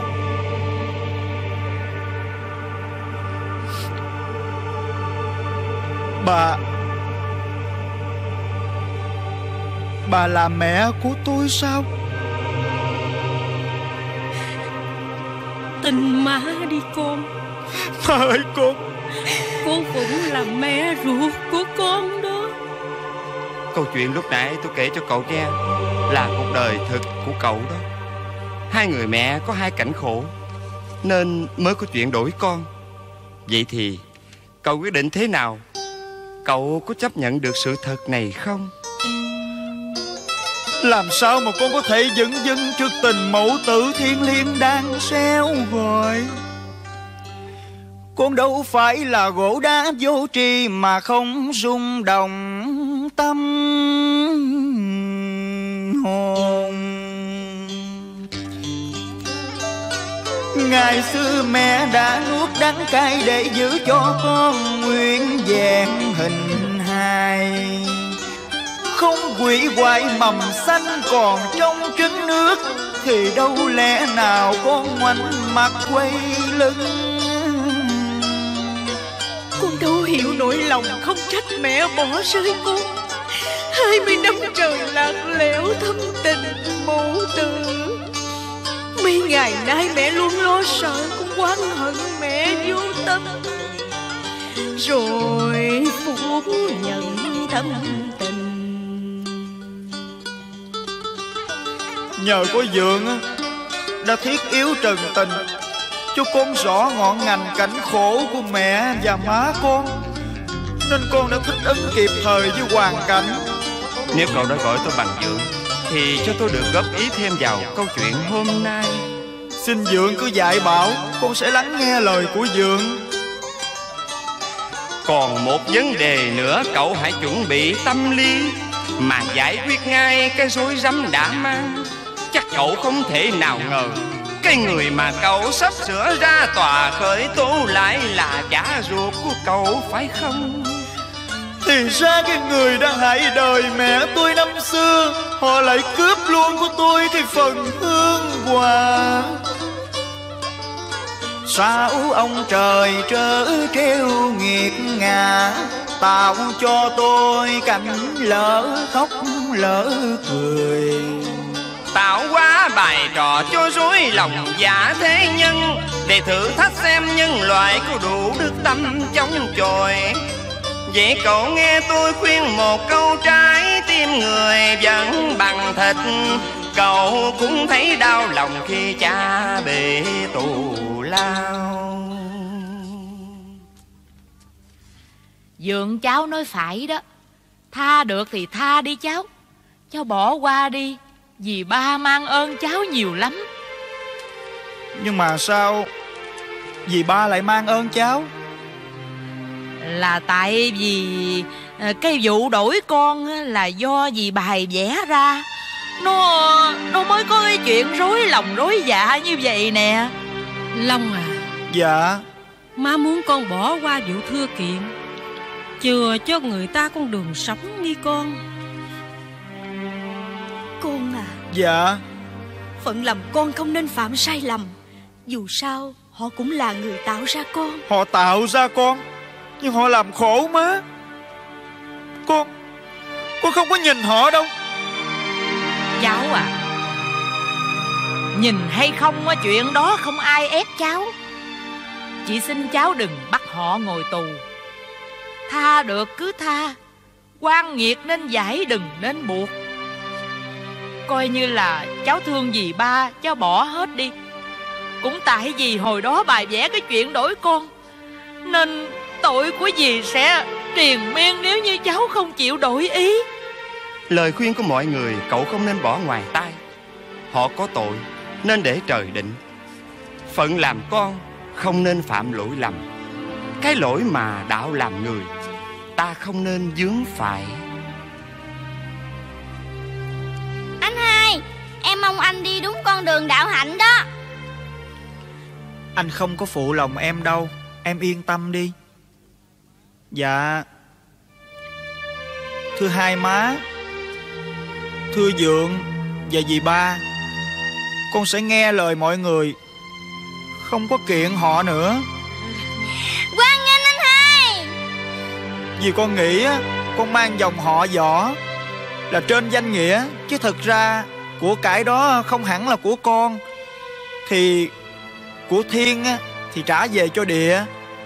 Đó cũng là ý trời Nên Con không thể cưỡng cãi. Cháu làm được như vậy á, Thì dì mang ơn cháu lắm. Vậy thì dì ba từ nay Ở lại với gia đình con Đừng đi nữa nghe dì ba. Thấy gia đình này ấm cúng Tôi thiệt là thèm lắm. Tôi không để bà lẻ loi đâu. Long mà Dạ.